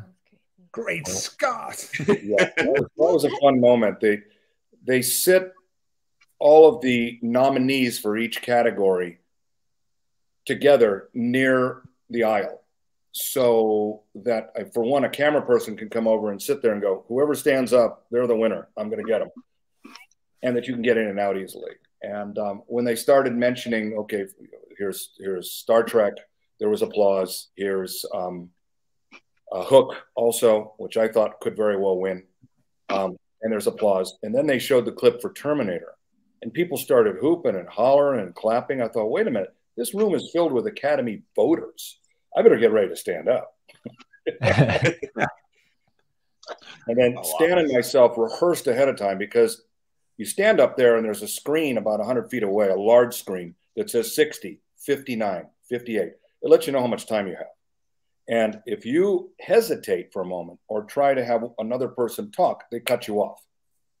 So Stan wow. and myself knew this. So we rehearsed ahead of time in his his uh, um, studio where he would say what he wants to say. And at one moment that he says a certain word, he would step backwards and I would step forward so that it was a continuous, mm-hmm. couldn't cut us off. And it worked. It was nice. Oh, awesome. Oh, that's cool. This is a this woman here, the guard with the uh, uh, the dark haired woman with the hair pulled back. For some reason, I said, "Hey Jim, why don't we put a, a, a cast on it?" I think I just wanted to put a cast on somebody. I'd never done it before. Not not the two part cast like you get at the prop department, but a real cast that you put the sleeve on and you wrap it with with the fiberglass, and that's the way it is for the whole day. And I did that several days with her. And at the end, Jim came to me and said, You know, that cast was a good idea because it works for when she hits Arnold in the face and breaks his sunglasses. Yeah. So that was just a, like, I don't know, let's just put a cast on her. And Jim said, Sure, do it. now, now, Jeff, so I don't recall, was oh. that, was that originally um, obviously that wouldn't have been in the script for her to have a cast, but was she still no. the original person to knock his sunglasses off and start him looking a little bit more human? And- was in the script or not? Um, he's not as violent with her because he throws these other people, potentially killing them. And with her, he just grabs her by the face and shoves her, and she goes flying back. I don't know if he intended for her to do that in the first place, and the cast just worked out better. Hmm. But at first, when I suggested it to him, he's like, "What?" And then he went, "Yeah, good idea. Do it."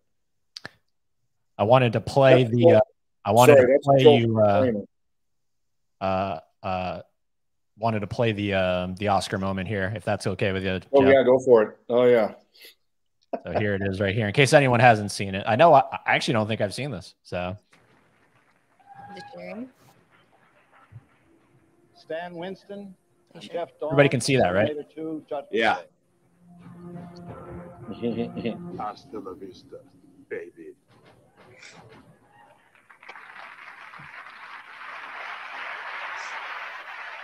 And the Oscar goes to. Uh, where's the envelope? The envelope. I get nervous just watching this again. Because we were all just sitting there going, are they really having a yeah. Give us a hand with the envelope, please. oh. yeah. I, was gonna ask you, Jeff. I was like, on a scale of one to ten, how nervous were you? Like above um, ten? I was, you know, I, I was nervous, but I do a lot of public speaking. Things like this don't. Oh, okay. But still, at the end of it, yeah, right.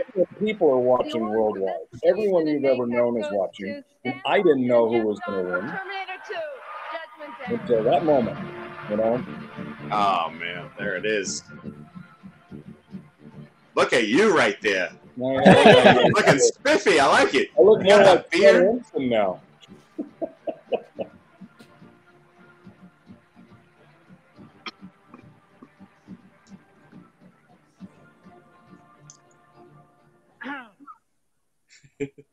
We'd like to thank Steve Laporte, Peter Toffal, all the people in my studio, especially John Rosengrant, Shane Mahan, and Richard Landon, who've been with me from the start.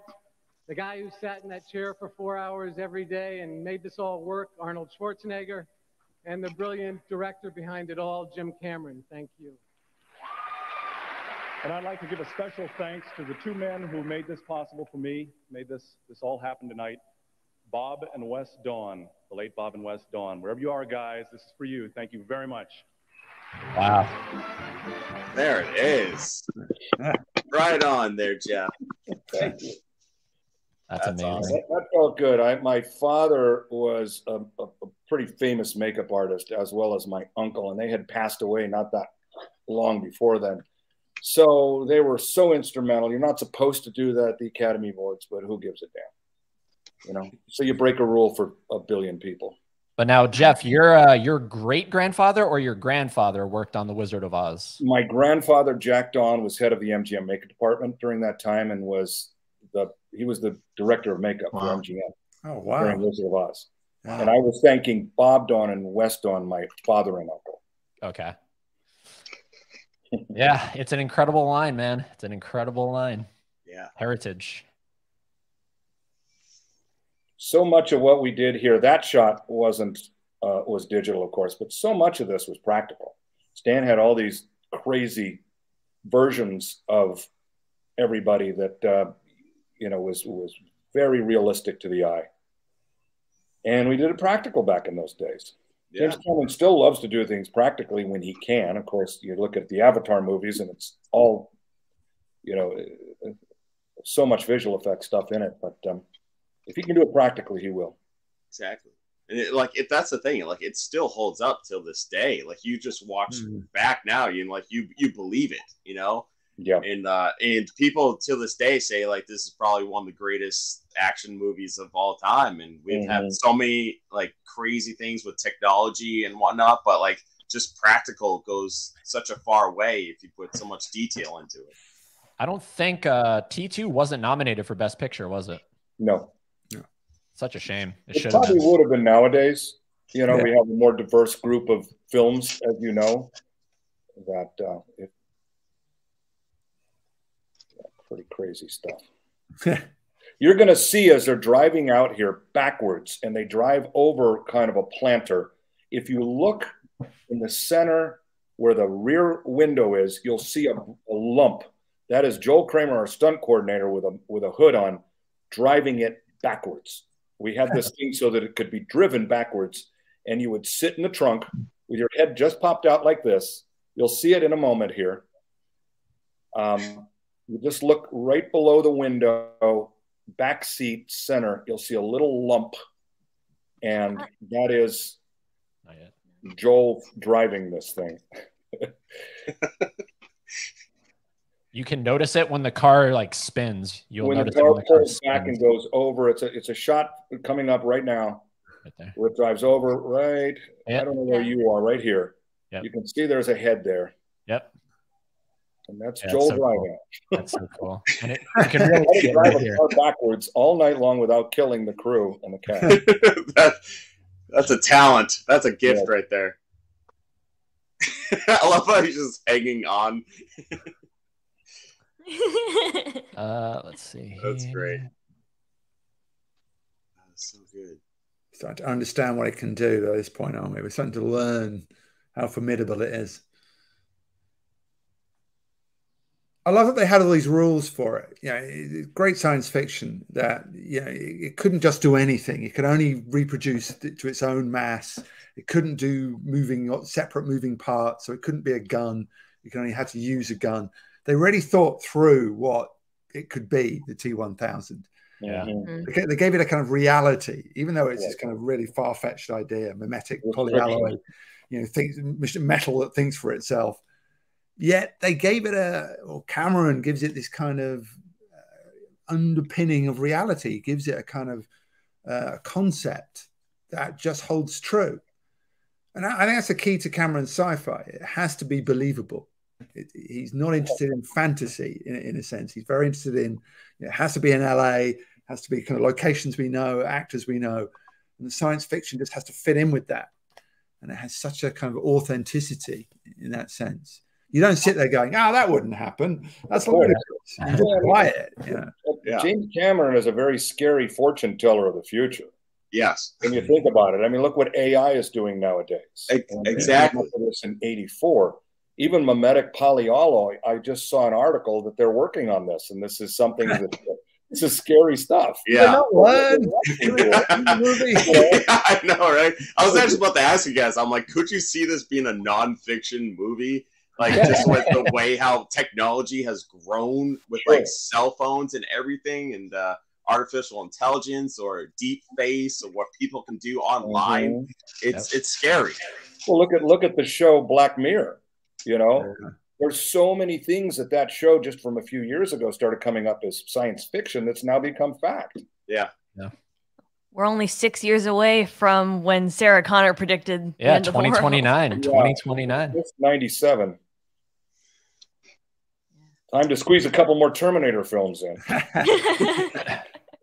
And you know, we wanted to use we. Uh, they looked at uh, using a Michael Edwards for Terminator Three, but he was too old at the time because it would have made sense now to have our John Connor in the future, who's no longer a boy, who's a man, played by the person we all knew. But he was he unfortunately had you know was a little too old.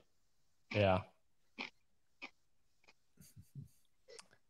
What's uh what's everyone's thoughts on like we'll just go around we'll, so we'll start with Dave. Uh what's everyone's Oh. thoughts on the newest Terminator film Dark Fate?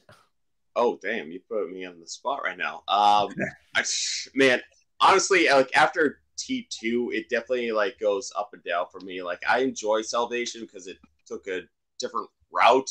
Uh, it was like post war and whatnot, but I didn't really. Uh, I wasn't like the biggest fan of Genisys. So Dark Fate, I had like the lowest expectations for, but I walked out of it thinking like, all right, that was actually uh, not bad at all. So I actually uh, kind of enjoyed it. Casey.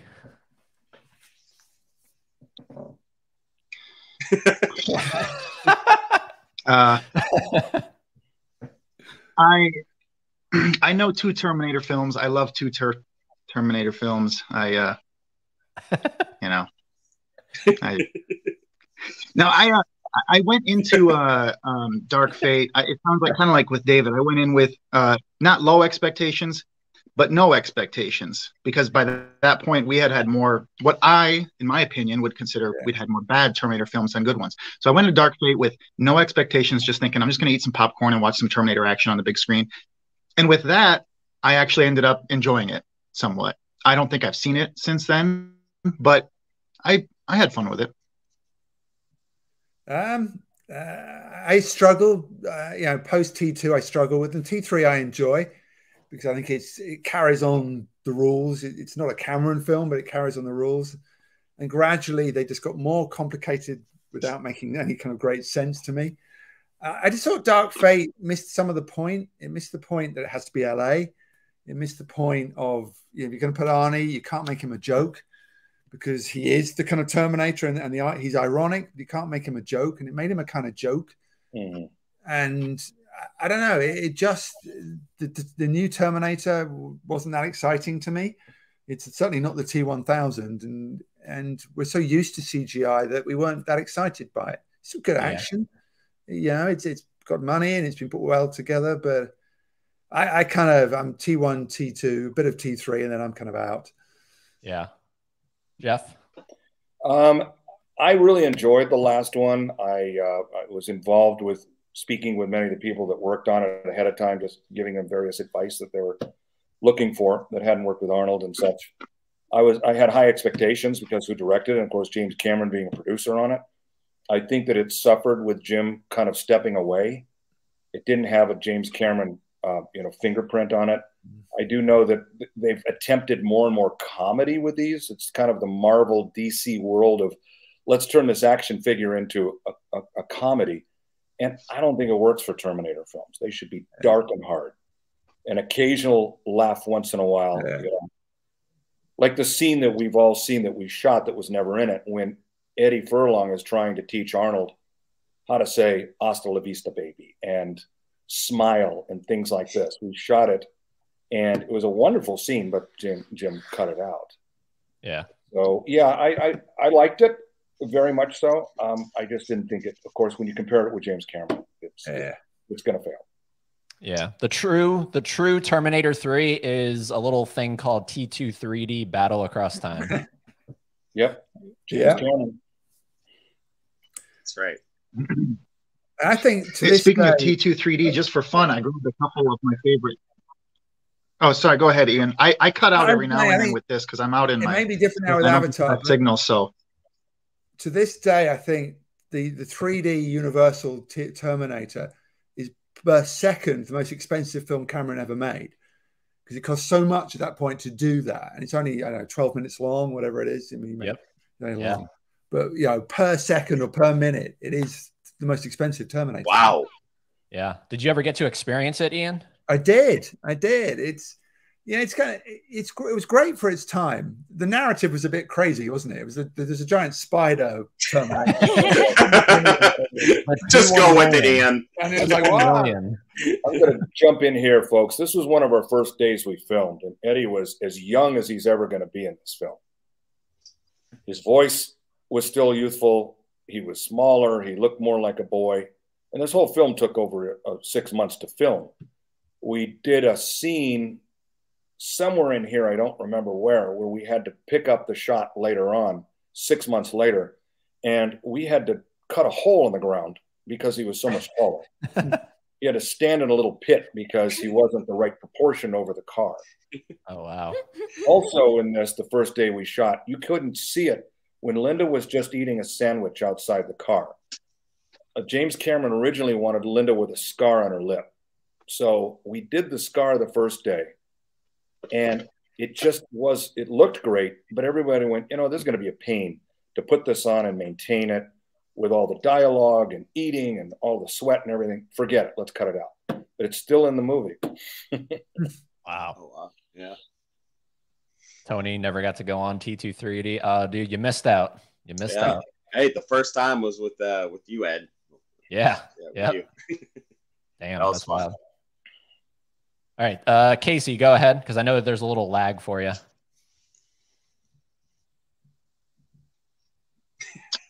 oh, sorry. Oh, like, uh, wait, what? The uh, yeah, the T two three D thing.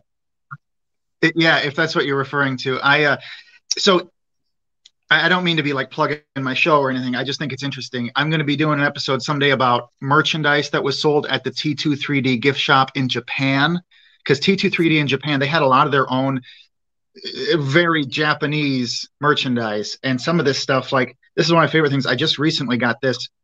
I think this is like 15 years old, but this is called a faucet buddy. You'd hook this up to your sink, and when you run the water through, the little endoskeleton's head spins around. And then the other thing that I grabbed is one of my favorite weird items from the T2 3D Japanese gift shop is this Terminator back scratcher, or as they're called in Japan, a grandson. So yeah, there's there's all kinds of neat. Uh, there's an earwax picker too. I, I didn't think to grab that, but there's all kinds of really neat stuff that we'll be looking at you, one of these days. You didn't grab that first, man. The earwax. I, I, I, didn't think of it. I, it just popped into my head now. I, I, I wish I would have thought of it earlier when I was rifling through stuff. God damn it, man. uh, oh, this is a good question. Any fans of uh, the Sarah Connor Chronicles? Yes. I have not seen it. No. I saw a couple, but I didn't really keep up with it. Jeff? Um, I, yeah, I, I really enjoyed it one or two of the episodes, I thought they were really well done. I just didn't follow it. Gotcha. I thought that the makeup looked good, the action was good. You know, it had a big following for a while. It just, I was so busy doing other films that TV wasn't in my my reality. Well, for me personally, as a hardcore uh, Terminator fan, I don't think uh, Terminator translates well to a Fox television show. uh, maybe yeah. now, if they were to try it, like put it on yeah, HBO yeah. or something, you mm-hmm. know what I mm-hmm. mean? Give it that real hard edge. But Fox, and Fox now. as as you probably know, there are so many restrictions with this franchise. It's so expensive now. Yeah. Because it's gone from so many different people's hands that if you want to do a Terminator project, you have to suddenly pay James Cameron and, and, and Gale Anne Hurd and Mario Kassar and Carolco and Arnold and you know all these people. It just gets crazy. Yeah. I think one of the things that I really liked about the Sarah Connor Chronicles was that uh, because it wasn't a huge budget film and they had their limits, they had a lot of those more quiet, reflective moments, like some of these moments uh, where the gang is out in the desert, which is some of my favorite stuff in T2. So it was kind of cool seeing some of that stuff in the show. They kind of had to slow down every now and then and reflect a little bit on what they were dealing with. And I, I liked those parts of the show. Yeah. Mm-hmm. Now, uh, earlier with this scene, every time I hear the name like Bob or like a child, I always just think of that scene where he's like, Uncle Bob. it's great. My uh, my brother, his nickname was always Bob growing up. For some reason, his name isn't anything close to Bob. But now that I have a daughter, I'm just thrilled that she gets to call him Uncle Bob. Oh my, that's that's perfect.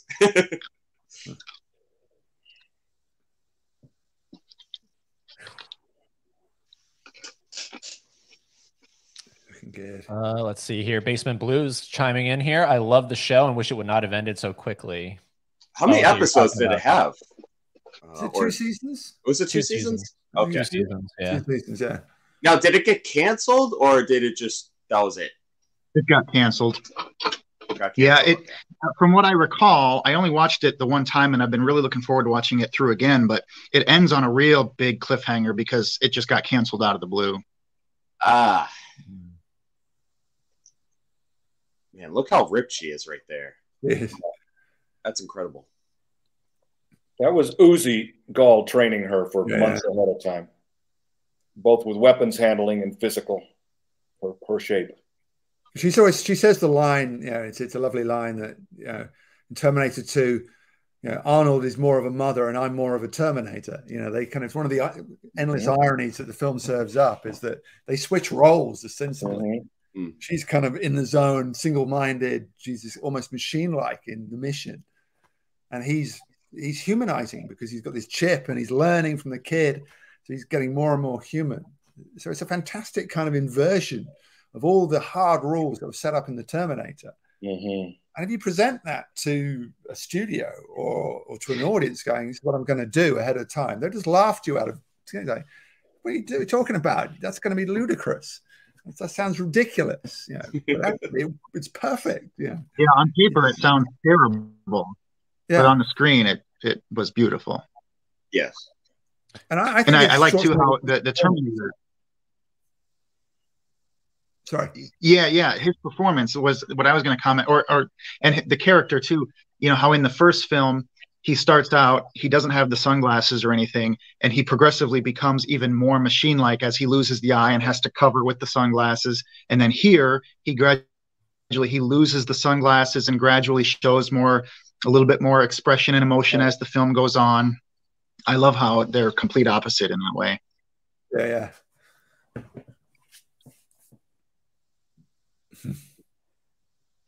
Uh, Ian, when you uh, wrote this book, did you get a chance to talk to Cameron or? I have talked to Cameron. I didn't talk to him recently because he was avataring. You know, he's been avataring for well for twenty years, but he was avataring very intensely over the last four years. Um, I spoke to him, yeah, and I, I two hours with him. Uh, it's a little while ago now, and with James Cameron, and I'm sure wow. Jeff can, can speak much more to this than I can you tend not to sort of ask him questions. You tend just to get answers. he just sort of tells you things. And you kind of just, and he tells you things in, in, that glorious way that James Cameron speaks. And that's kind of echoed in his films. He sort of self mythologizes. So everything is, is full of drama and he's just full of wonderful sound bites. And so you can sort of take the history of something and just sum it up in a way you just go, that's just perfect. It's exactly what I needed, you know, just sort of enrich the story. And he's still, you know, he's still like a, a frustrated young filmmaker in a way. He hasn't let go of the young guy who came up through Roger Corman, who who sort of fought it, his yeah. way into getting the Terminator made, and all the kind of problems he had. And he hasn't sort of let go of those. And I mean that as a sort of positive. He, mm-hmm. he kind of still kind of goes, you know, I fought for this film and I fought for, you know, The Abyss and I fought for Aliens and I fought for Terminator 2. And I'm sure he's fought for Avatar and all the sequels. You know, he's still at the front line. And I just love that idea that he can't let go of a film. You know, it's just this kind of passion for him. It's just something that drives him. I think it's a Michael Biehn quote that he says James Cameron doesn't have an ego. James Cameron's films have an ego. You know, so it's the film that's kind of shouting at, his, at everyone. It's the film that's demanding perfection. And I don't think he demands perfection from anyone more than himself. And yeah. I'm sure Jeff witnessed that. He you know, he'll do anything on a set. And, and the story is, isn't it, Jeff, that bar the acting, he can pretty much do anything on a movie set as well as anybody. You know, very true. That's that's the reason when I always tell people that crew members and people don't quit James Cameron shows because he will chew into you and it'll be public and it'll be embarrassing, but you know you've screwed up. You are already going, we all get very good at hiding our screw ups no matter what our job is. Thinking, okay, I screwed that up. No one will see. I'll just do this and this, and no one will ever know. James Cameron can spot it the minute he walks on the set. And, you know, it's embarrassing, but when you screw up and you're called on it, you just have to look in the mirror and go, all right, I'm not going to quit. I just have to get better at my job. You know, and James Cameron is, there was one time I screwed up and I, I just professed him and said, hey, look it, it was all me. Won't happen again. And suddenly he just backed down and said, don't worry, Jeff, we all screw up. It's cool. You know, you're like, whoa. If you, if, you want, if you, want, James Cameron to really chew into you, then start coming up with excuses and start trying to cover your ass and prove to him that he's wrong. you know. Now, Dave, what if you screwed up in front of James? uh oh, he's Uh-oh. frozen. Uh oh. Oh, Dave. Dave's frozen. Well, at least he's frozen with a smile. you look so uh, happy.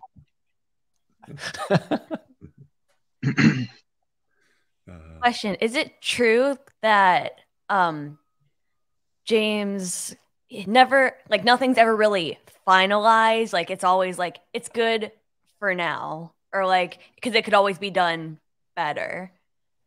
Oh, that... Jim, yeah, Jim is still going back and doing re-releases of his films where he's you know changing the star pattern in the sky on Titanic and removing things and adding things even to the, these movies. Um, I don't know if there's a filmmaker out there that can look at a film they did and said, "I wouldn't do anything differently if I could do it all over again." The same with all of us as department heads. You know, you're generally very happy with the work you did, but if you could do it all over again, you would change it a little bit. That was a that was a funny quote. Sorry. I'm sure he'll pop back in here. He's probably freaking. Now, I have said I've gone on record. I don't have any yeah. tattoos, but if I were to get a tattoo, it would be that exact etching right across my shoulders, no like just like that. No fate. What we make yep. for ourselves. I've had a yep. similar thought. Yeah. It's not an if you get a tattoo, it's when. when I get it. You can have We'll like go together. Arnie's face on your back. You know, it's a giant Terminator face across your back. Yeah. All right, I'm back. Sorry about that. Dave, you were frozen at the best spot. I know. Oh, oh, was I? All, all of a sudden, I'm like, oh, where did everyone go? I'm like, oh, shoot, it was me. Sorry about that. Goddamn Wi-Fi. Does, has anyone ever wanted to write uh, "No Fate but What We Make" on like a one of those tables? no, but I want to get it written on my back and uh, like as a tattoo. That would be cool. The I've real seen way to know a scar. like it's it, it's crazy. I've speaking of tattoos, I've seen like people do like a endoskeleton on their like arm or whatnot. It's like tattoos. Well, dude, your sister has freaking Arnold on her It's true. arm. Yes, uh, I, I I can thank her for this because growing up, like my family was all about like Arnold movies and and everything. So like she showed me a photo. She's like, "Oh yeah, there's you, uh, Terminator Two, you know, with a T-shirt on." I was like, "Oh, awesome." So they would always bring you up. It was always Arnold, and uh, even now I'm applying that to like my nieces and nephews. Like if I have to babysit them, I'm like, "What do you want to watch, uh, Predator or Terminator?" so Jeff, were you ever asked to do Predator? Because I don't think you did Predator, right? I did. Well, I what happened with Predator is when we did Terminator One, it was non-union. I was non-union, and then Arnold went on and did uh, Commando, and he started Predator down in Mexico. I then got in the union, and he called me and said, "Hey, I've got this movie, The Running Man. It's a union movie. I'd love you to be on it." So about halfway through that, he said, "Jeff, I did this film called Predator." And we have to go back and shoot a couple of months now because the old monster that was of course jean-claude van damme was in the suit didn't work out. They shut everything down. They rewrote some things. They came back. They hired stan winston for one of the most famous monsters in history. And we're going to go back and we're going to refilm half the movie. Would you do it with me? So then i did. And uh, the original makeup department head scott eddo wasn't on that. It was just me and i didn't want to take that credit. So I thought department head is Scott Eddo. He did the main movie. I came back and did a couple more months of it. So I thought, what am I going to do? So I put the credit Mud Makeup by Jefferson Dawn. I was using my full first name of Jefferson back there. Thought, "Oh, this is a makeup artist.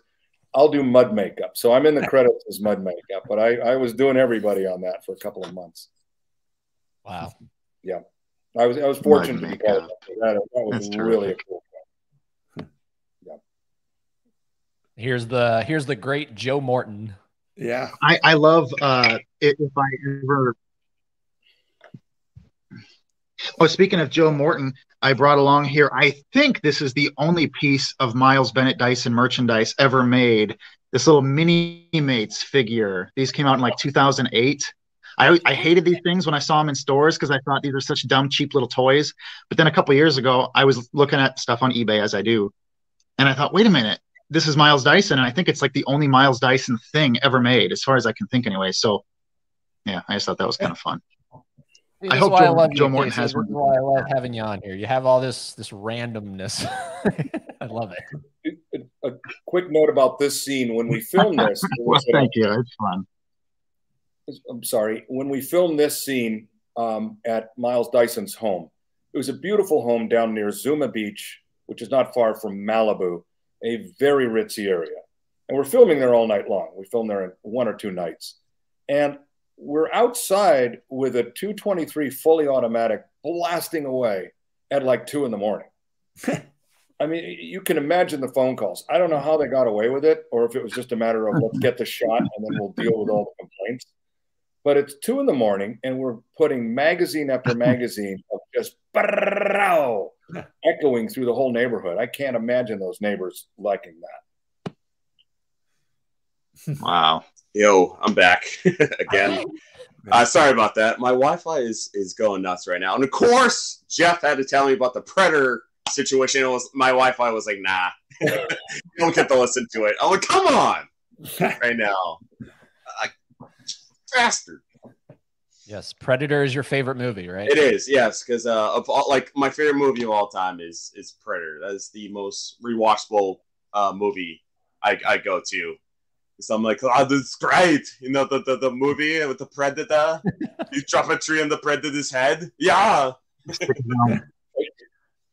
a quick story about Predator. I'm sorry, I just jump off onto these, but this is a pretty good one.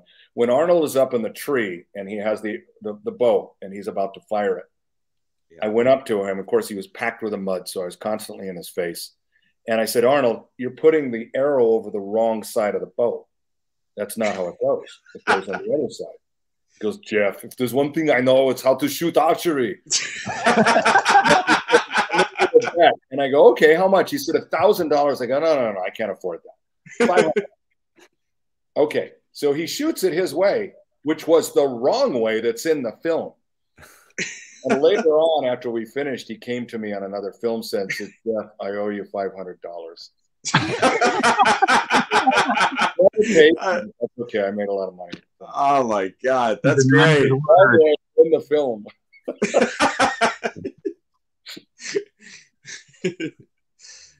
I know how to shoot. I'm the archery technical advisor on the set. He's like, "Don't worry, I know how to shoot. You know, yeah. it's right there." Have any of you guys had the pleasure of listening to the director's commentary on Conan the Barbarian?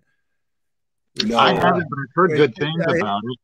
It's just it's Arnold who's being Arnold, and clearly they've just sort of plonked him down in front of the film without any rehearsal and he just sort of describes what's on the screen. He doesn't yes. really give any kind of background. He just sort of goes, "Hit me on a horse."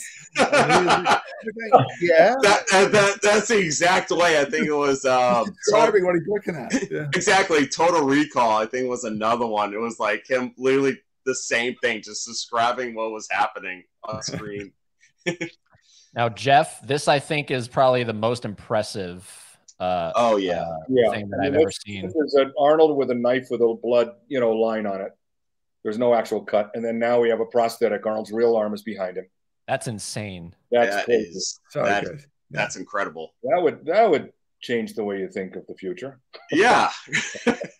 that's definitely selling some Blu-ray uh, copies right there with that endoskeleton yeah. arm. And the way that Jim Morton. This is a funny scene. It taught me something about really the way that Joe Morton played that there the this this taught me something on film sets when it comes to a really important, precious, expensive gag that's no longer needed.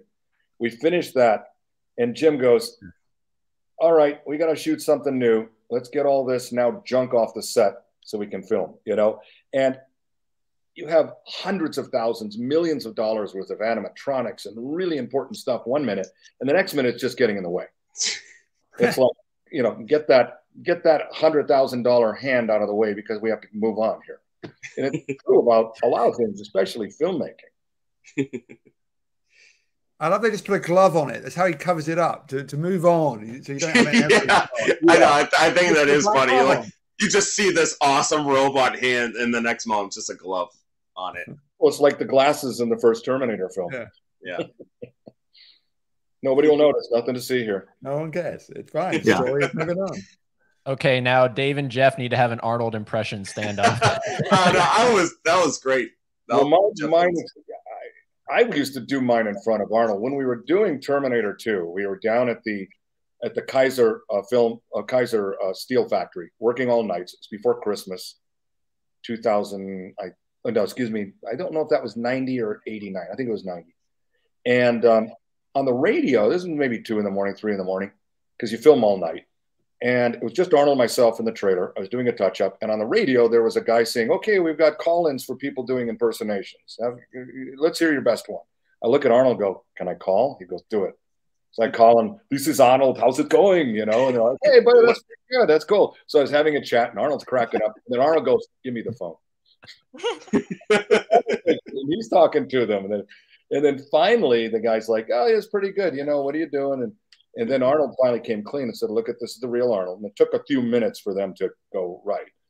But he said, We're filming Terminator 2. We're down here in, you know, in uh, Fontana, uh, filming at the old Kaiser factory and blah, blah, blah. And finally they realized this is Arnold. And like, Oh, can we come and visit? Can you come and give us an interview? And typical Arnold, yeah, sure, fantastic. Let's, let's set it up. And it didn't happen. But uh, that was a funny moment. Well, you know what, Jeff? I got my stories too. Okay. Go for me, it. me and Arnold are at Olive Garden. I'm like, you know, Arnold, isn't that great breadstick? And he's like, yeah. Fantastic. yeah, it's great. I, I, before I met Arnold, when I was 19 years old and into bodybuilding and living in Northern California, not even interested in being a makeup artist yet, I was a huge Arnold fan. Of course, I'd watched Pumping Iron. I had his books. I was excited about uh, Conan coming out, and I would go to the gym and hey, everybody, you look fantastic today, you know. And I would be, hey, Jeff, let's hear your Arnold impersonation. Little did I know, a couple years later, I would be working with him and then have a 20 year career with him. so be careful what you hope for.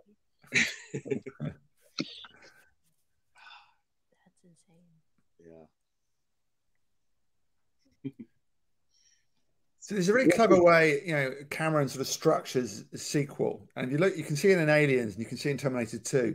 He follows the structure of the original film, but sort of does it in different ways, and you can almost time it. So in Aliens, the action kicks in at the same point it does in Alien. There's like 45 minutes where very little happens apart from build, and then bam, they go into the nest, and it all hell breaks loose.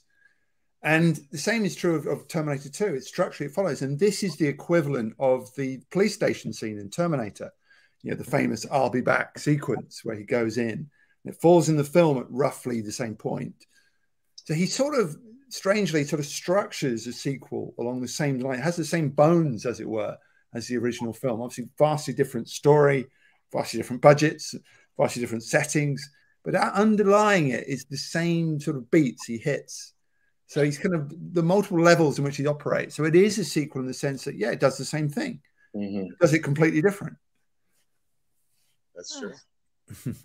this guy right here, Mike Muscat, he was the acting coach for Eddie Furlong. and he's an actor also. So Jim said, Hey, do you want to be a security guard?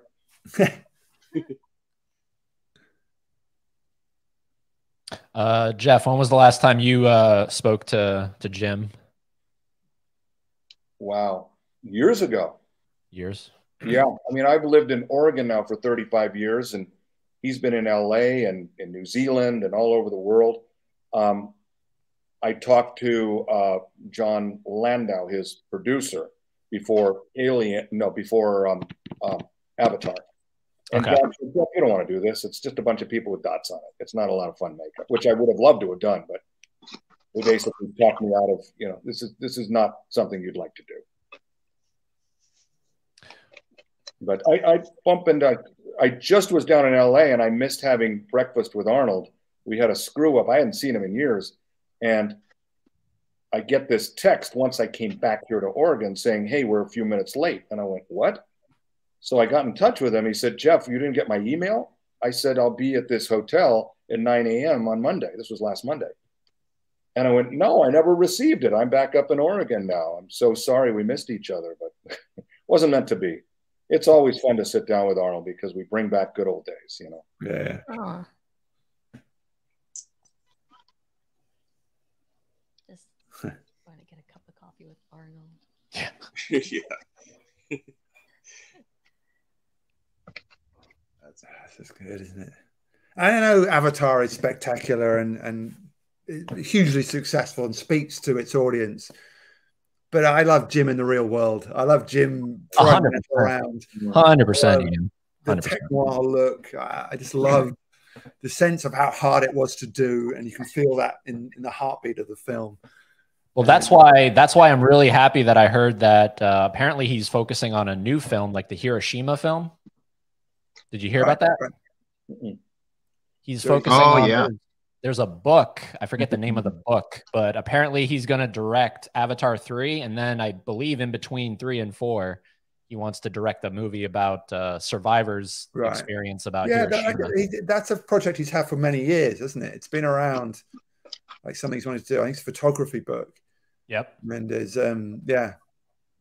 No, so that, that excites me because that does not sound anything remotely close to Avatar. it sounds more real world kind of thing. Yeah, I was saying, yeah, he's at his best when he's sort of fighting the elements and he's fighting you know, the, the, the, confronting gravity and he's confronting all the things that reality throws at you, and, and he's beating those things. And like you know, the abyss is just a phenomenal piece of sort of filmmaking, sort of bravura in a sense. You know, you would never do that these days. You know, I'm going to make a film underwater. yeah, it's going to be completely underwater, and, and I'm going to put all these guys through this. But that idea of living the film as you make it, I, I think just gives it this kind of level that you feel it. You know, it's, it's I call it the apocalypse now theory. It's like you can feel how hell it was to make Apocalypse Now when you watch Apocalypse Now. Mm-hmm. Apocalypse Now wouldn't be the film it is without you know Coppola and all those guys going on that maddening journey upriver. Mm-hmm. And you can feel how Terminator 2, you know, they're just about to blow this building up. And they really blew this building up. You know, it's going to be demolished.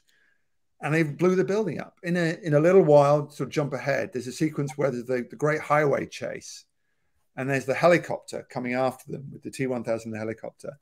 And they fly this helicopter underneath a freeway bridge. They did it improvised. I'm Jeff, I don't know if you were there, but they improvised it there on the set that I did. Mm-hmm. And I just think James Cameron's a guy who flies helicopters underneath freeway bridges. That's my James Cameron. you go up and over it if you want. I'm going to go underneath the freeway. I'm like, it's aviation rules. I mean, it was a really physically very difficult thing to do. We'll, we'll catch up with that later on. Yeah, that, was, uh, it, that was pretty frightening to watch, and the cameraman wouldn't be part of the chase vehicle in there, so James Cameron strapped himself to it. of course. He's done a lot of shots for dangerous shots in different times. Yeah. That's awesome. Uh, the infiltrator wants to know, Jeff, uh, when was the last time you spoke to Robert? Wow, many years I was doing Hawaii Five O, and he was doing a submarine TV show over there. I forget what it was called, as a commander, um, and so we were constantly talking to people through other people. Say hi to Patrick. Say hi to Jeff. Let's get together. We never did. That would have been nice. If we, if I ever see him again, we're going to give each other one big hug. You know, because it's mm-hmm. because of what we went through. You'll oh, see when Arnold turns around here, there's a quick shot. Do you see him shooting up with a minigun now? Yeah. Yes. Yes. Yeah. When he turns around, you can see his back has a piece of black tape hanging off of it. It's typical of what we did for the squibs. You would cover it with black tape so you wouldn't see the, the torn up leather spot where the squib was. And when it would blow, sometimes that tape would kind of hang off. You really can't tell what it is, but when you know it's black tape and you're going to see it in a moment, you're going to go, that's black tape hanging off his back. Yeah, Jim doesn't need to take that away because most people have no idea what it is. Yeah.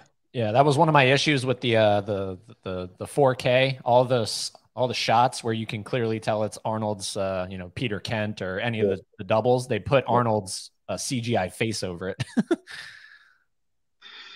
yeah, it, it I guess aesthetically it looks nicer, but to me it just kind of kills the fun out of enjoying the magic of movie making when you're watching yeah, the films yeah. with their little yeah. imperfections, you know. Yeah. Yep. Did we see it yet, or did, did we, we pass it? it? The the tape. Uh, you're gonna know right here. He just finished shooting the uh, grenade launcher. Now he's checking human casualties, and he's about to turn around, and it's a profile shot. You'll see the black tape on his back. There it is. I'm looking at oh, it. yes. Yeah. Yep, there it is. Look at that. Yeah. Boy, That's, I never noticed that. That is pretty neat. That is cool. Now every single time As soon as you see that it's black tape, you can't not see it. yeah, that's cool.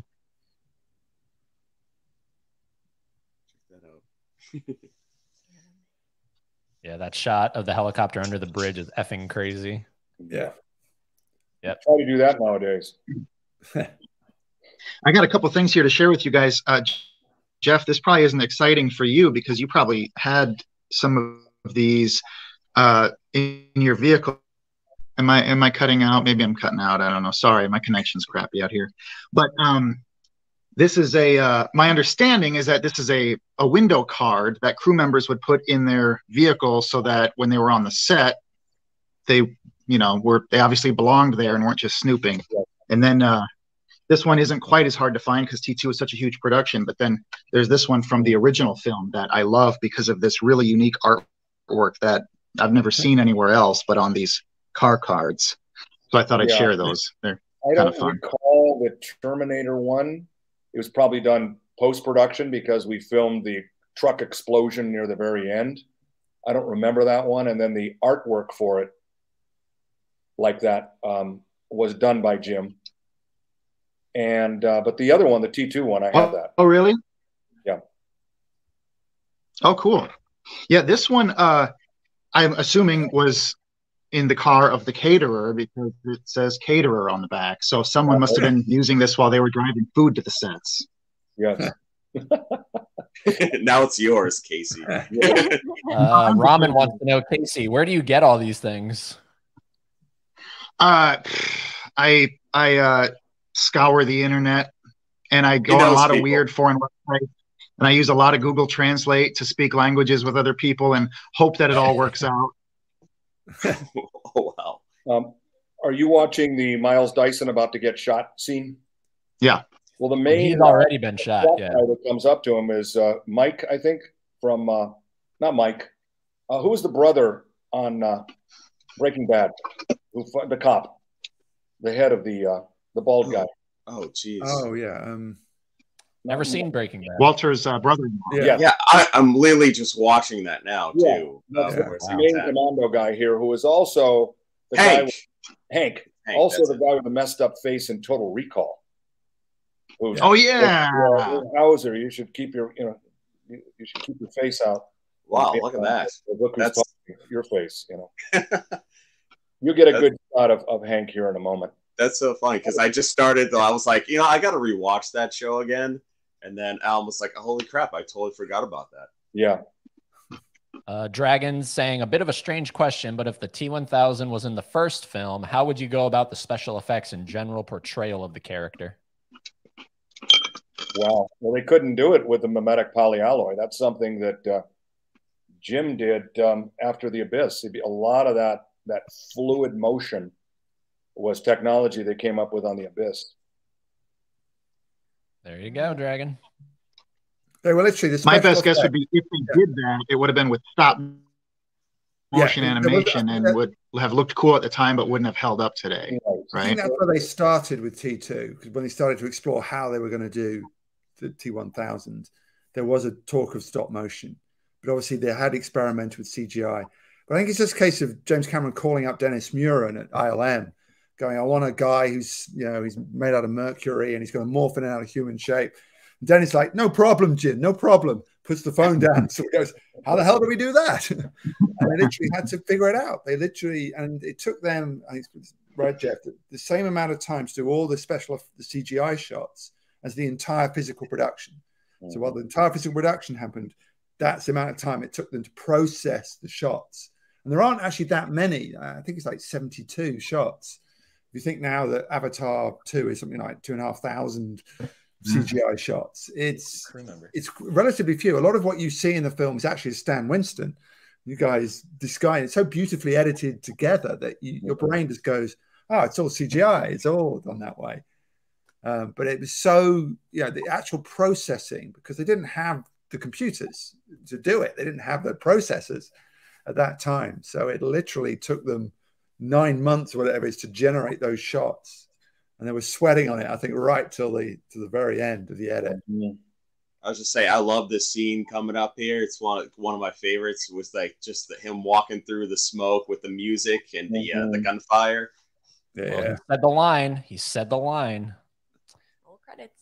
Yes. credits. You'll see here when it becomes a this is Arnold, and then it's a torso being carried by Stan's people in a moment that starts getting shot up. Yeah. Yep, knew that, Laren. That's a fun fact for sure. That's still Arnold, of course.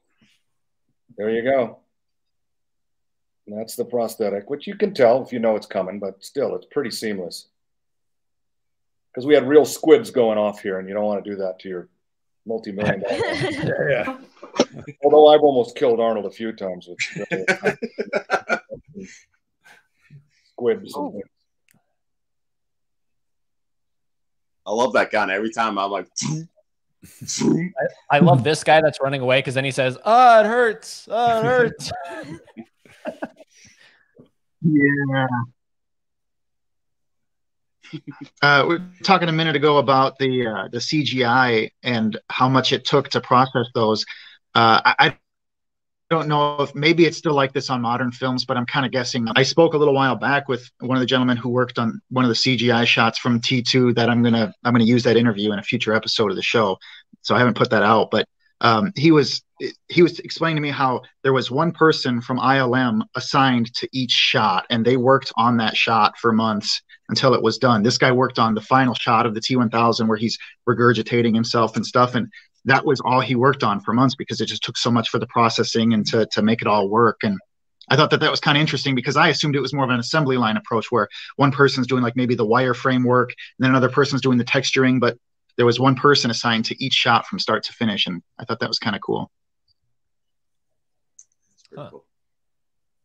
Yeah. Um, I go to school with um somebody who is a part of like who knows like all the animation.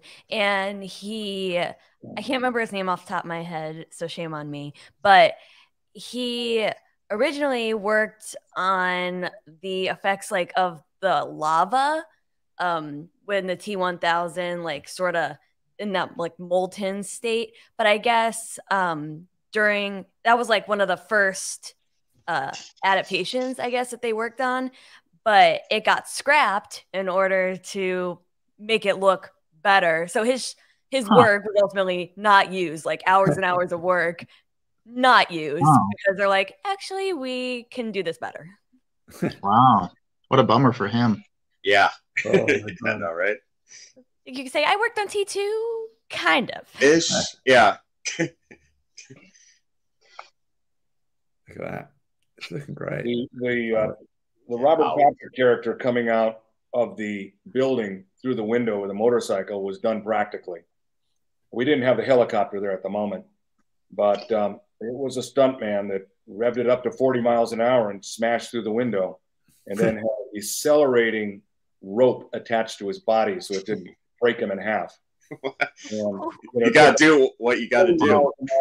Yeah, it took him from 40 miles an hour down to zero in about a half a second, and then he just fell on a big stack of boxes. like, right. don't worry, there's going to be boxes. You're yeah. good. Okay. Well, to watch that body going from sitting position to aim for the boxes. yeah. With a with a with a rope pulling him this way, you know. Oh, he was fine. That's good. So we're on the, the highway chase. And I'm right in thinking, and Jeff, you remember to correct me, it's like they, you shut off like five and a half kilometers of, of LA freeway yeah. and sort of put these giant lights over it. And I just think that's kind of where Cameron was at. I'm going to shut down a freeway in LA. You know, fun. These yeah. people pretty swearing, but I can't get on the road. And, the bridges in, uh, you know, down in uh, the Keys when we did uh, True Lies, when we had, you know, Harriers flying around and bridges blowing up. True Lies. We had we had people with market baskets there is heli- sorry, helicopter going under the bridge. Oh boy. we had people. Yeah, this is insane. yeah, that's James Cameron filming that from the interior stuff. Both sides. They did it twice. That's mad. He was in front of the camera car for the one going through, and then behind the camera car for the. It, you know, I never thought about that. That's something that I don't think is mentioned much when people talk about him flying that under the there. That they had to do it twice for each of those shots. I yeah. never thought about that. Yep because you had the camera car and the shot. you know. Yeah. Yeah. And was to say, when you're following this thing in a camera car and you're James Cameron strapped to the front of the camera car, you might have a helmet on. if something goes wrong, that camera car is going right into that wreckage. Just fantastic. Now, Jeff, speaking of True Lies, do you know when we're getting a Blu-ray? Are we? I don't know. You tell me every single time that uh, Ed and I get together, we're like, "We're on True Lies on Blu-ray or 4K." Damn it! yeah, that movie is it's it's one of my favorites. It's so good. Talking about a remake, or a re, you know a, sequel. Yeah, I was like, I don't care. I'll take anything because like usually if there's like a spin-off or a TV show, they'll release the original on like a Blu-ray or 4K or whatnot. So I was like, all right, give me anything. I just I just need that on Blu-ray or 4K.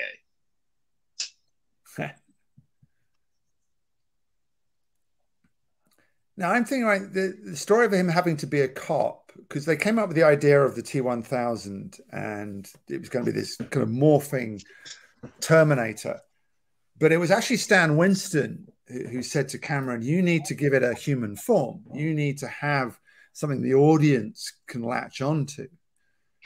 And Cameron then said, "There's got to be a cop." Then, you know, in his anti-authoritarian way, he idea, "What is the symbol of kind of dehumanization?" How about a cop? And that's how he sort of they, they kind of developed this idea that you've got to turn it into a character. You know, you can't just have a, a blob chasing after these guys sort of changing shape every now and then. And it was actually Stan Winston who said, You've got to humanize the bad guy. You've got to give it a shape. Because that was the joy of the original film, was the fact that, yeah, we understood it was a machine, but there was just this sort of sense of, of Arnold and character and humanity about it that made it kind of funny. There's all these scenes in, I think, the original Terminator that are kind of amplified in Terminator 2, where he just looks slightly annoyed. He sort of looks really irritated that things are going wrong. He hasn't killed Sarah Connor yet.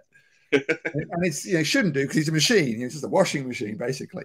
Yeah. And that's kind of really played upon in, in the second one. And Robert Patrick does it as well. He just looks kind of annoyed when things aren't quite working out. He's a perfect well, man in his head. He's like, this should have been a lot easier. yeah. And just from a logical uh, perspective, it makes sense that the T1000 would be a cop to try to gain the trust of, you yeah. know, who, oh, yeah. who he's going after. There's uh, Peter with that mask that he was talking about. this is a phenomenal car chase. And you think it's just another part of Terminator 2. You don't stop and go, it's the great car chase movie. But it's just phenomenal stuff. Yeah. Right. So good. And once again, it's integral to the story, and every single bit of it matters. None of it is there just to say, "Oh, look at how fast this is! Look how big this explosion yeah. is." Every bit of it matters. Oh yeah, it's, you know, it's Chekhov, it's Chekhov rules. You know, you got to have the frozen, the kind of the liquid nitrogen in the tanker because that's going to play its part. You've got to set up all the narrative pieces that will take us to the factory and the big showdown everything adds up. There's no there's no slack in Terminator 2 at all. It's nope. all precisely sort of you know honed towards the story.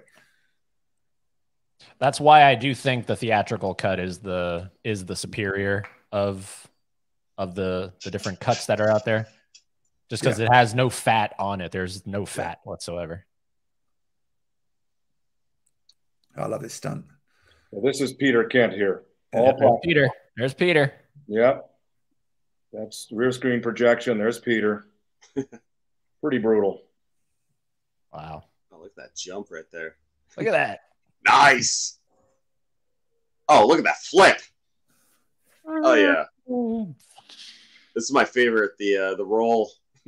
yeah. It took two times to do this. There wasn't enough top weight in it. They had to turn the vehicle upside down, pour concrete in it so that the concrete filled the top of the tank and was top heavy. Then when we did it again, it just rolled right over. Huh. It just skid and slid the first time. I'll be damned. Uh, here we go. The uh, iconic uh, scene. Oliver brings up a good point here. Is everyone excited for Arnold's new Netflix show, Fubar? interesting. This is our that was our prop master, the guy that had the bone around his neck in the uh, in the crew photo earlier. Now, Jim loves putting crew members in.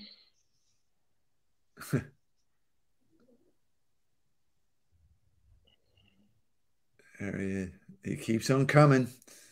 Yep. The original inspiration, really, and Cameron's very open about this, is Halloween. That the Terminator was was not modeled on, it was, it was modeled on a slasher movie, and, and I always think that John Carpenter probably is his greatest influence, although he loves Kubrick and he loves Ridley Scott and he loves Mad Max 2 and all those things that sort of made him who he is. But I think John Carpenter is the kind of the telling influence because the Terminator is sort of plays on all the Halloween rules, the unstoppable killer that you, you're chasing after the resourceful girl. And you look at aliens, you think, well, it's kind of assault on precinct 13. It's kind of the, the outside guys and how are these guys going to survive? I don't know quite where you know Terminator Two kind of reflects the Carpenter career because Cameron was kind of soaring at that point. but the inherent rules are still there. Those kind of Carpenter horror rules. I think you know, Cameron still obeys them throughout. Even like the uh, the expression on the T1000's face right there, like yeah. just realizing his his hand is gone. that always cracks me up. And uh, have you guys ever seen um, Hot Shots 2 before? Yeah. Yeah, yeah. Because there's a the scene with the bad guy, the villain, and the dog. they uh, like when they, they form one together. Every time I, I think of this scene, I think of the Hot Shots 2. He just said the other thing. Uh, Laren says, Jeff, you should publish a book ASAP. I'd buy it day one. the thing people keep asking me to write a book, but of course, when you write a book about Hollywood, they want to they you know, they're not interested in all the technical and cool stuff. They want to know who slept with who, who's doing drugs, who was an asshole. It's not my not my thing. I don't know. We're sitting. Uh, we have Ian right here. He's, he's a film author. That's, that's yeah, I mean, you know, I I, I love I love the history of it. I, I love the kind of the kind of the artistic ambition and the execution and that journey is what always you know I like to write about that you know the making and the results are always married together and just you know I, the anecdotal stuff you know that you, you could write a wonderful book about just being present on all these films and all the stuff you're kind of talking about that well, there's so many more stories I can tell yeah. every one of these because keep in mind each one of these scenes were there for days you know, there's so many moments of, of interaction between Jim and crew members and myself and cast members. What, yeah. was, uh, what we experimented with.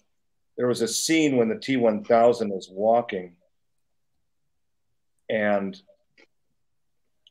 he ends up uh, grabbing onto a, a rail that has black and white, like caution tape on it and his whole arm goes, oh, excuse me, black and yellow. His whole arm goes black and yellow. Yeah. And what it is is we're starting to show that his system is failing. You know, the, the, the this new Terminator is starting to lose his mojo a little bit, which we see later on at times too. But um, this was the first time when he's walking, and they cut that scene out. Yeah, right here, right here. Yep. Yeah, he grabs onto this rail. Yep. Yep. We saw him start to, and then he and his hand sticks on it. He can't get it off. And finally, he yanks it off, and it, his whole arm was turned into this black and yellow. It's like, damn, I didn't want that to happen. Well, look, all I know is if we do get an Ian Nathan author Jeff Dawn book, I just want a credit in the in the in the end. That's all I want. As much as we're portraying this to be 150 degrees, it was Christmas time, yeah, yeah. freezing cold there. You know, we're I'm spritzing everybody, making them look like they're sweaty and it literally was 34 degrees.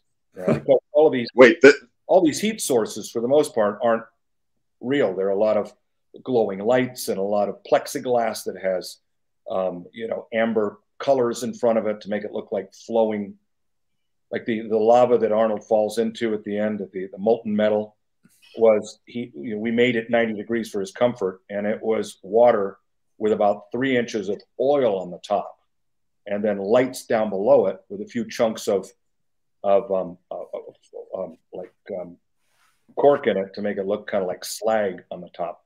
So it was freezing cold, but it looked like lava. yeah, yeah. God, I just love this. Two machines going at it. Like, yep, this is it. Final, the showdown, man. Ooh, that's what's what's amazing is that you know you, you kind of feel the pain, even though they're two machines. Yes. You can feel how battered they're getting, especially yeah. Like, like his hand is in there. I literally like I can vision that, you know, because it looks so real when his hand gets crunched in it. You're like, ow, that that's gotta hurt. you're kind of you're, you're kind of with him, and it shows you how clever the film is. He, he's humanized to the point where we're kind of feeling a pain he's probably not feeling. It's kind of it's illogical, but it's how you you feel for the character. Right. Yep.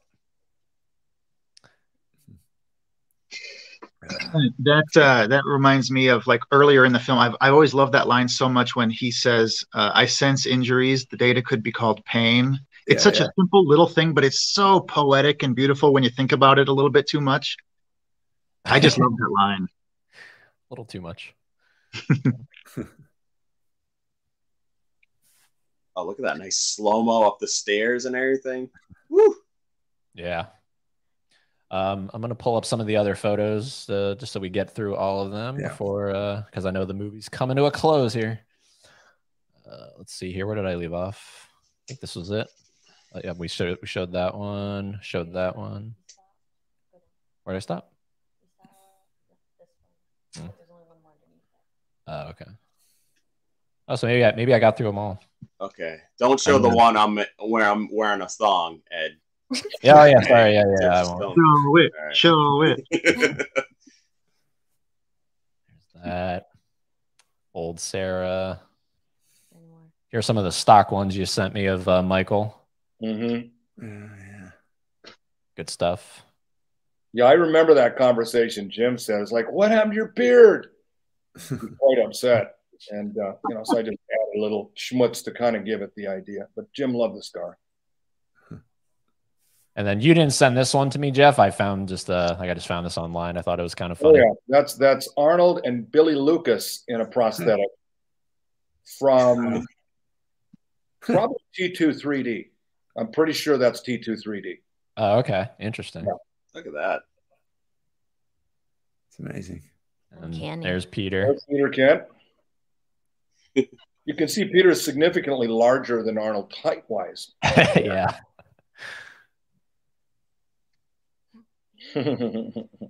that one we've all seen. And this one's uh from T1. Yep. Oh boy. yep. Good stuff.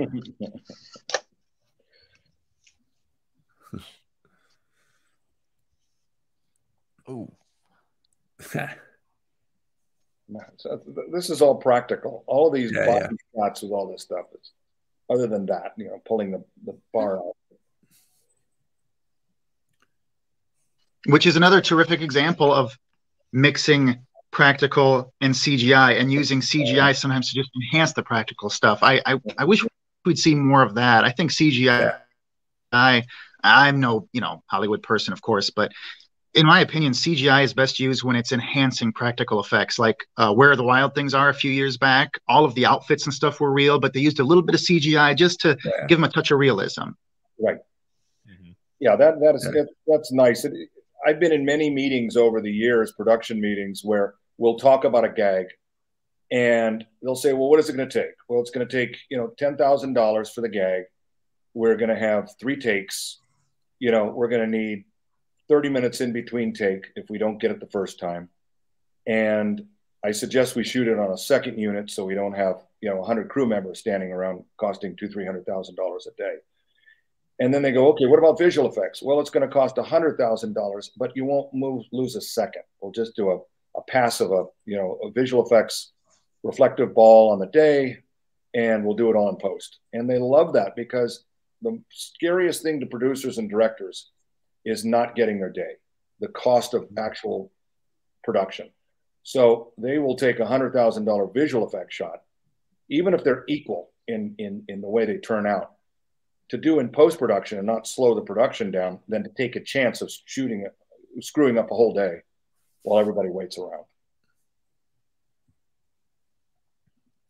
Oliver, Oliver saying for Ian, when did you get your start being a writer? Oh wow! Well, that's a big story. Uh, we don't have probably long enough to to do the whole thing. Um, I, I, I worked for a magazine called Empire, a film magazine. Um, I came out of university, huge film fan, mm. Um, determined to get into. it. I've been a critic as a student. Realized didn't realize you could earn your money doing that. It was a wonderful thing to realize. So fought my way into Empire magazine. Was there for 20 years. Edited Empire magazine, big movie magazine in London. And towards the end of my career on Empire, I started writing books because it was the next, to me, natural step. Uh, I wrote a book about Alien, the Ridley Scott movie called Alien Vault. It was my first book. It did very well. And books kind of beget books. You know, if they do all right, another book comes along. I did a book called Terminator Vault. Love it. Um, Love that Terminator Vault. Yeah, all about the film we have in front of us and the original. A great joy to write. And I've written many books since, right up to the, the recent James Cameron one. Um, and yeah, no heavy lifting involved. You know, it's been a great life. Um, it's I've been on many movie sets. I've sort of not to Jeff's extent, but I've I've kind of crossed through the curtain, as they say, and I've just seen the magic of it. And to this day, I sit in the cinema and the lights go down. I still feel the same excitement. You know, I still feel that kind of eagerness that I felt seven years old. You know, I, I'm a kid who, seven years old, I went to see Star Wars because my dad took me, and uh, this spaceship flew over my head and, and onto the screen. And I went, I want more of this. What is this? You know, I'm going to live here for the rest of my life. Thank you. And I have. So it's it's been great. You know, it, it's hard work writing books, and you, you, try and make them good, and you strive. But uh, it's also a joy. You know, watching this film again. It's like a million more things I want to write about it. you say about it. Look at that. Look at that. And all the Jeff's saying, I'm going, I can use that. You know, but you can't put it all in. You know, it's, it's, it's, I'm telling you, great. please, Jeff, partner with Ian, get this book written. I would, I, I, I, would buy a copy. I know that. Yes. I'm happy to. we originally shot a shot here showing yeah. the uh, Robert Patrick's character starting to glitch, where we look down at the Linda Hamilton double of him, and we see that the boots that she has on are taking on the grate of what she's standing on. So that you see all these metal pieces that now look like her feet are made out of the grate. And it's just the, the system starting to glitch a little bit. And you know, it was a cool shot, but Jim said we don't need that. Crazy also, everybody, everybody in the chat, we're going to be because uh, the movie's coming to a close here. So make sure you're voting in that poll. We're going to end the poll here soon, and then we're going to the question is Is T2 James Cameron's greatest film? Scary. That's scary. Yeah, that is freaky. That's terrifying. oh, we lost Dave again. That was a kind of Stan Winston creation, wasn't it? The kind of yes, man, pretzel man sort of yeah, he, he, he, had, he had all that animatronic working for him, but there was a little bit of digital on the face to give it a little more life. Oh, I didn't know that. That's cool.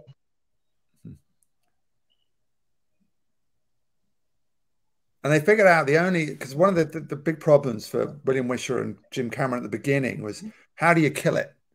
You know, if you created this kind of thing that's kind of unkillable and it's it's made of metal that morphs, you can't shoot it, you can't blow it up. And they just came to this idea is that you've got to melt it, you've got to mix it with other metals and and sort of destroy the, the polyalloy so it can't come back together. And of course, it had to finish in a factory and and that kind of marries again with the original film that it finished in a, in a kind of metal confines of a factory, and so T2 does. You know, this the symbolic kind of finishing point is machinery everywhere you look, and it's it's kind of you know they think through this mm-hmm. stuff. You know, they don't just make it up as they go along. They you know they thought it through. Yeah, yeah. I love all this Arnie at the end. I need a vacation. Yeah they kind of let him be funny at this point. You got to give yeah. him a line. Yeah, they saved it. Yeah, I, if I remember right, I think I read that that was something that Arnold came up with there on the set. I don't think that that's in the script, the "I need a vacation" line, but I could be wrong there. It, sounds like something Arnold would say. Yeah, it, it, yeah. it does sound very Arnie, doesn't it? Terminated. Yeah, that's a. You can see the lights underneath. That's a bunch of water, about three, four inches of baby oil, and then wow. a cork on top. you know the sad. You know the sad thing is now because I because I've seen how they do it now. It's just a. It's like a big green thing. Yeah. You know. And then they just fill it in with CG later. Mm-hmm. Oh. Just create it and create it in, the, in post production. I saw a photo recently of George Lucas in a on a soundstage with hundreds of props and practical special effects that he did with the first movies. And then the same George Lucas nowadays standing in a room with nothing but a green screen. Yeah. Sad. It is sad. It ain't the same. It's just not. It's so this is the big thing that Cameron was building towards at the very beginning. He's going to yeah. make us cry for a Terminator his big Shane moment, you know, the kid going, "Don't go." Yeah. I have a feeling that's why Dave left. He didn't want to cry on camera. Sure, cry in front of us all.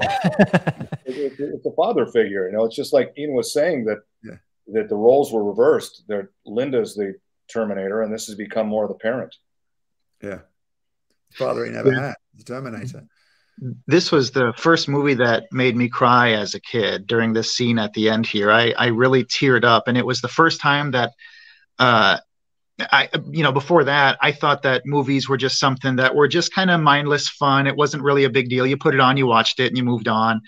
This was the first movie that made me tear up, and I I I, I realized like wow, movies can really be art. They can move you. They can really hit you deeply, and I think that's part of why I'm so. Uh, in love with this movie because of that early experience with it and how it changed the way I looked at movies.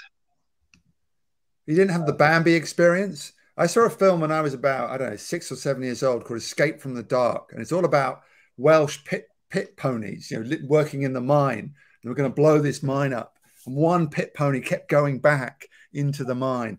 I was just like, I, I cried for about two weeks after that film. And I can never go back and watch Escape from the Dark again because I was so traumatized by it.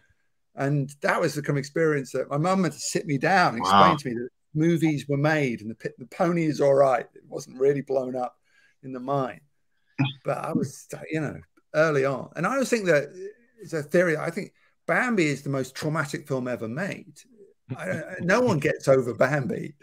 Yeah, you, you, can throw Halloween, you can throw Texas Chainsaw Massacre.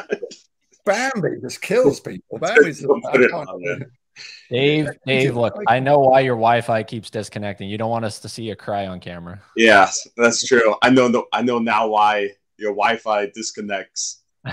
it's something I can never do. oh God, I, I, it it sucks too because like the Wi-Fi cut off. I was like, this is my one of my favorite parts is when he's like, I need the vacation because that's every single time I go into work.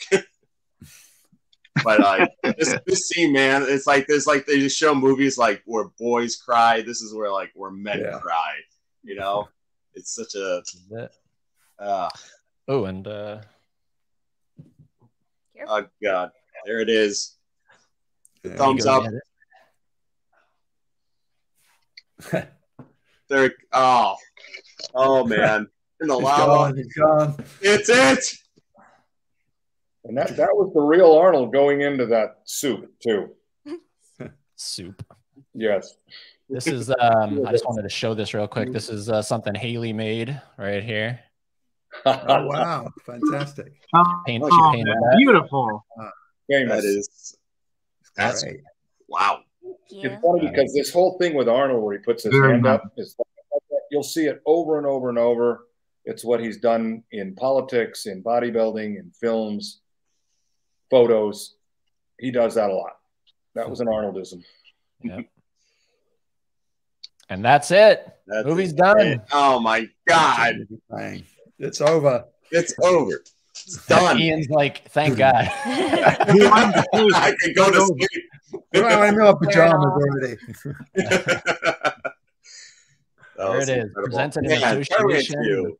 Uh, I'll just say uh, this was incredible, guys. Thank you uh, for coming on here. Like just just growing up with it, but you guys got to like just be part of it, and it that that's awesome. I could listen to you guys just talk for hours, honestly, about this film. So it's yeah. it's definitely like of my top five favorite movies of all time. Terminator One and Two are are number two, behind Predator, of course. So yeah.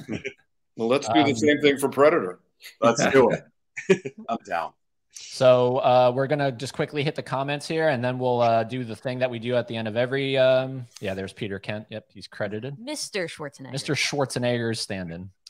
Um, and then we'll go around and we'll say, "What did you think of the movie?" Uh, so let's see here. Uh, this is the last comment. Uh, Laren says, "Love the Carpenter talk from Ian. What's your favorite Carpenter film, Ian?" And anyone else who wants to chime in. Okay, I would go if you force me to. I'll go with the Thing. I, I think the thing, which is I think it's an influence on Terminator 2, um, certainly the, the distorted creatures and the kind of. I think the thing is just a fabulous movie. Kurt Russell trapped in the the Arctic base, just brilliant. You know. Mm-hmm. Yes. Jeff, favorite Carpenter film? Favorite Carpenter film? Um, probably. Um, um, um, um, oh, the one about the car, Christine. Me too. Me too. That, that was wow. different than maybe the rest of you. My father was the makeup department head on that, and he passed away during that film. Oh wow! There's a credit at the end of it that says, you know, in memory of, of Bob Dawn. So it, it means more to me than just entertainment. Years later, I heard that he was going to do uh, Ghosts of Mars, and I had never met him before. And I emailed him and said, "Hey, Mr. Carpenter, I'm a fan, but I also want to let you know, you know, I'm the son, a makeup artist son of, of, of Bob Dawn, Robert Dawn." I got a phone call from him a few minutes later, and he hired me for Ghosts of Mars on the spot. I had the resume that could handle it then, but then I had to turn it down because another Arnold film. But um, I, I, had my chance to work with him. I would have loved it, I'm sure. So, wow. but, you know, Christine was my favorite. Absolutely. Wow. Uh, anyone else? Dave, Casey, favorite Carpenter? Ooh, uh, I'd probably have to just go with the uh, good old Mike Michael Myers in the in the thing. Those two, are top two for sure. I love them Casey. both. Uh, you know, every chance that I've had to watch uh, John Carpenter film, I just ended up watching Terminator 2 again. So I haven't seen any of them. No, I, I would echo I would echo Ian's sentiments completely. The thing for me, it's that's okay. tremendous. The the creature work and stuff.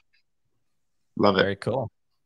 Horror and more. How long did Jeff say it took to shoot the whole movie? Was it six months? It was about six months. I'm sure we James Cameron films can take up to a year because you film it with practical, and that's you know five months or so. But then you go back for reshoot after reshoot, and suddenly it's a year later that it's actually finished. There you go. Uh, Dragon says, speaking of Alien, I had this conversation with someone else, but what if you were to encounter either a T 800 face to face or a xenomorph, which would be more frightening? Oh, the xenomorph. Yeah. Yeah. Yeah. Yeah, well, T eight hundred. It would at least be Arnie, wouldn't it? It'd be Arnold's face. So that be you know, you kind of want to get on with the T eight hundred. Maybe a bad thing to do, but the xenomorph, yeah, that's just kind of there's something you can't you know reason with. You can't reason with the Terminator. Michael Biehn told us that, but yeah, I would try to. Still gets me every time. The first film I cried in too. Gorgeous painting, Hailey. Uh, great painting, Hailey. Thanks for putting the stream together, fans of something. Yeah, absolutely. Look, it was um, uh, you know, Terminator, Arnold, James Cameron, passions of mine. So uh, I wanted to I wanted to make this one extra special, and it, it, wouldn't have been extra special if anybody on this panel said no. So um, everybody said yes, and we're here. Uh, totally encapsulated it. Hailey, yeah, love it. Big Trouble everybody. in Little China. This was so cool, fun, informative, fascinating. Thanks so much to everyone for being here yes, let me go end the poll real quick, and then uh, we'll get the results. Or uh, is this James Cameron's greatest film? I know uh, Casey probably feels like it is, but uh, he's not. He's not voting. He's not voting. Uh, how do I end it? Here we are. End, end poll. Uh, all right. So the results are in. And what are the results? It is 86% say hell yes, and 13, 13%. Is that what it says? Yeah. 86% hell yeah, 13% hell no. With 75 votes. They hit the wrong button. It was a 1% mistake. Yeah, wow. yes. Let's cancel. So there you go. And I think it had uh, 75 uh, votes yeah, total. Just... 75 votes total. So um, a lot of people in the chat eating popcorn, slippery fingers, hit the wrong button. It happens. That's it. Um, all right, so now we're going to go around the panel. This is the, the the thing we do on every uh, watch along, and we just say, "What did you think of the film on a rewatch? Did you did, like do you feel differently about the film? Anything that comes to mind? Uh, the floor is yours, and we start with." Mr. Oh damn! You got to start with me right now. Uh, no, it's just it's a classic, man. It's just it's one of the best, one of the best action movies practical CGI effects. Like it's just so well done. The actors and everything. I, I what can you say about it? It's just that goddamn good, and I loved it. I enjoyed doing this great stream with you guys. I had a blast, and uh, this made it just ten times better. Uh, knowing some behind the scenes and whatnot. So thank you guys. This was an incredible experience. So thank you. Absolutely. Thanks for being here, man. Uh, Casey. Uh, you know, I people have been telling me for years that I should check it out. Now that I have, yeah, I mean, it's okay. Make makeup could have been better. Uh, now, uh, uh, I mean, I, I don't know. It's you know, it's kind of funny rewatching it for the first time, you know, from start to finish now because, like I said, I I haven't for so long because working on the show, I'm just constantly like going and pulling little clips to show and different things and stuff, and I'm constantly seeing little bits of it. So to sit down and watch it all the way through from start to finish, especially with such amazing company that I still really don't feel like I uh, belong a part of. Uh, this was this was a lot of fun. Thank you guys for having me along, and uh, uh, thank you to for for entertaining me with all these wonderful stories and memories and insight. This has been fun. Yes, it has definitely. Uh, Mr. Ian Nathan. Yeah, well, yeah, I still love the film. I, it still speaks to me. Um, it's still one of the reasons I love James Cameron. But you know, we always talk about special effects and we always talk about the action, and those things are state of the art and, and fabulous and still stand up.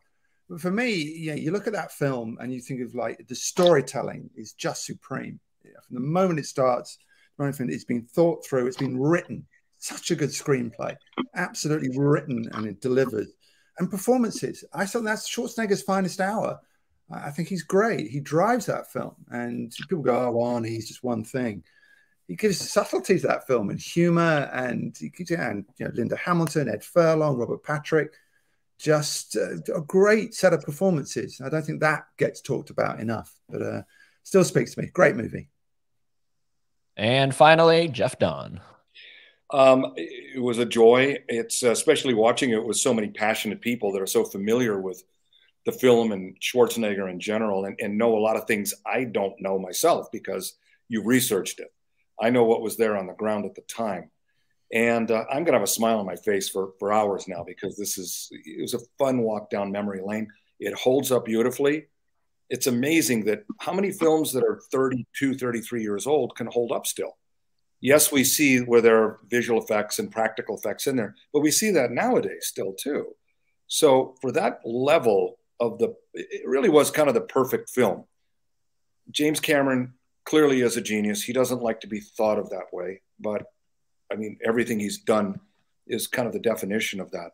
He's also extremely brilliant, extremely artistic.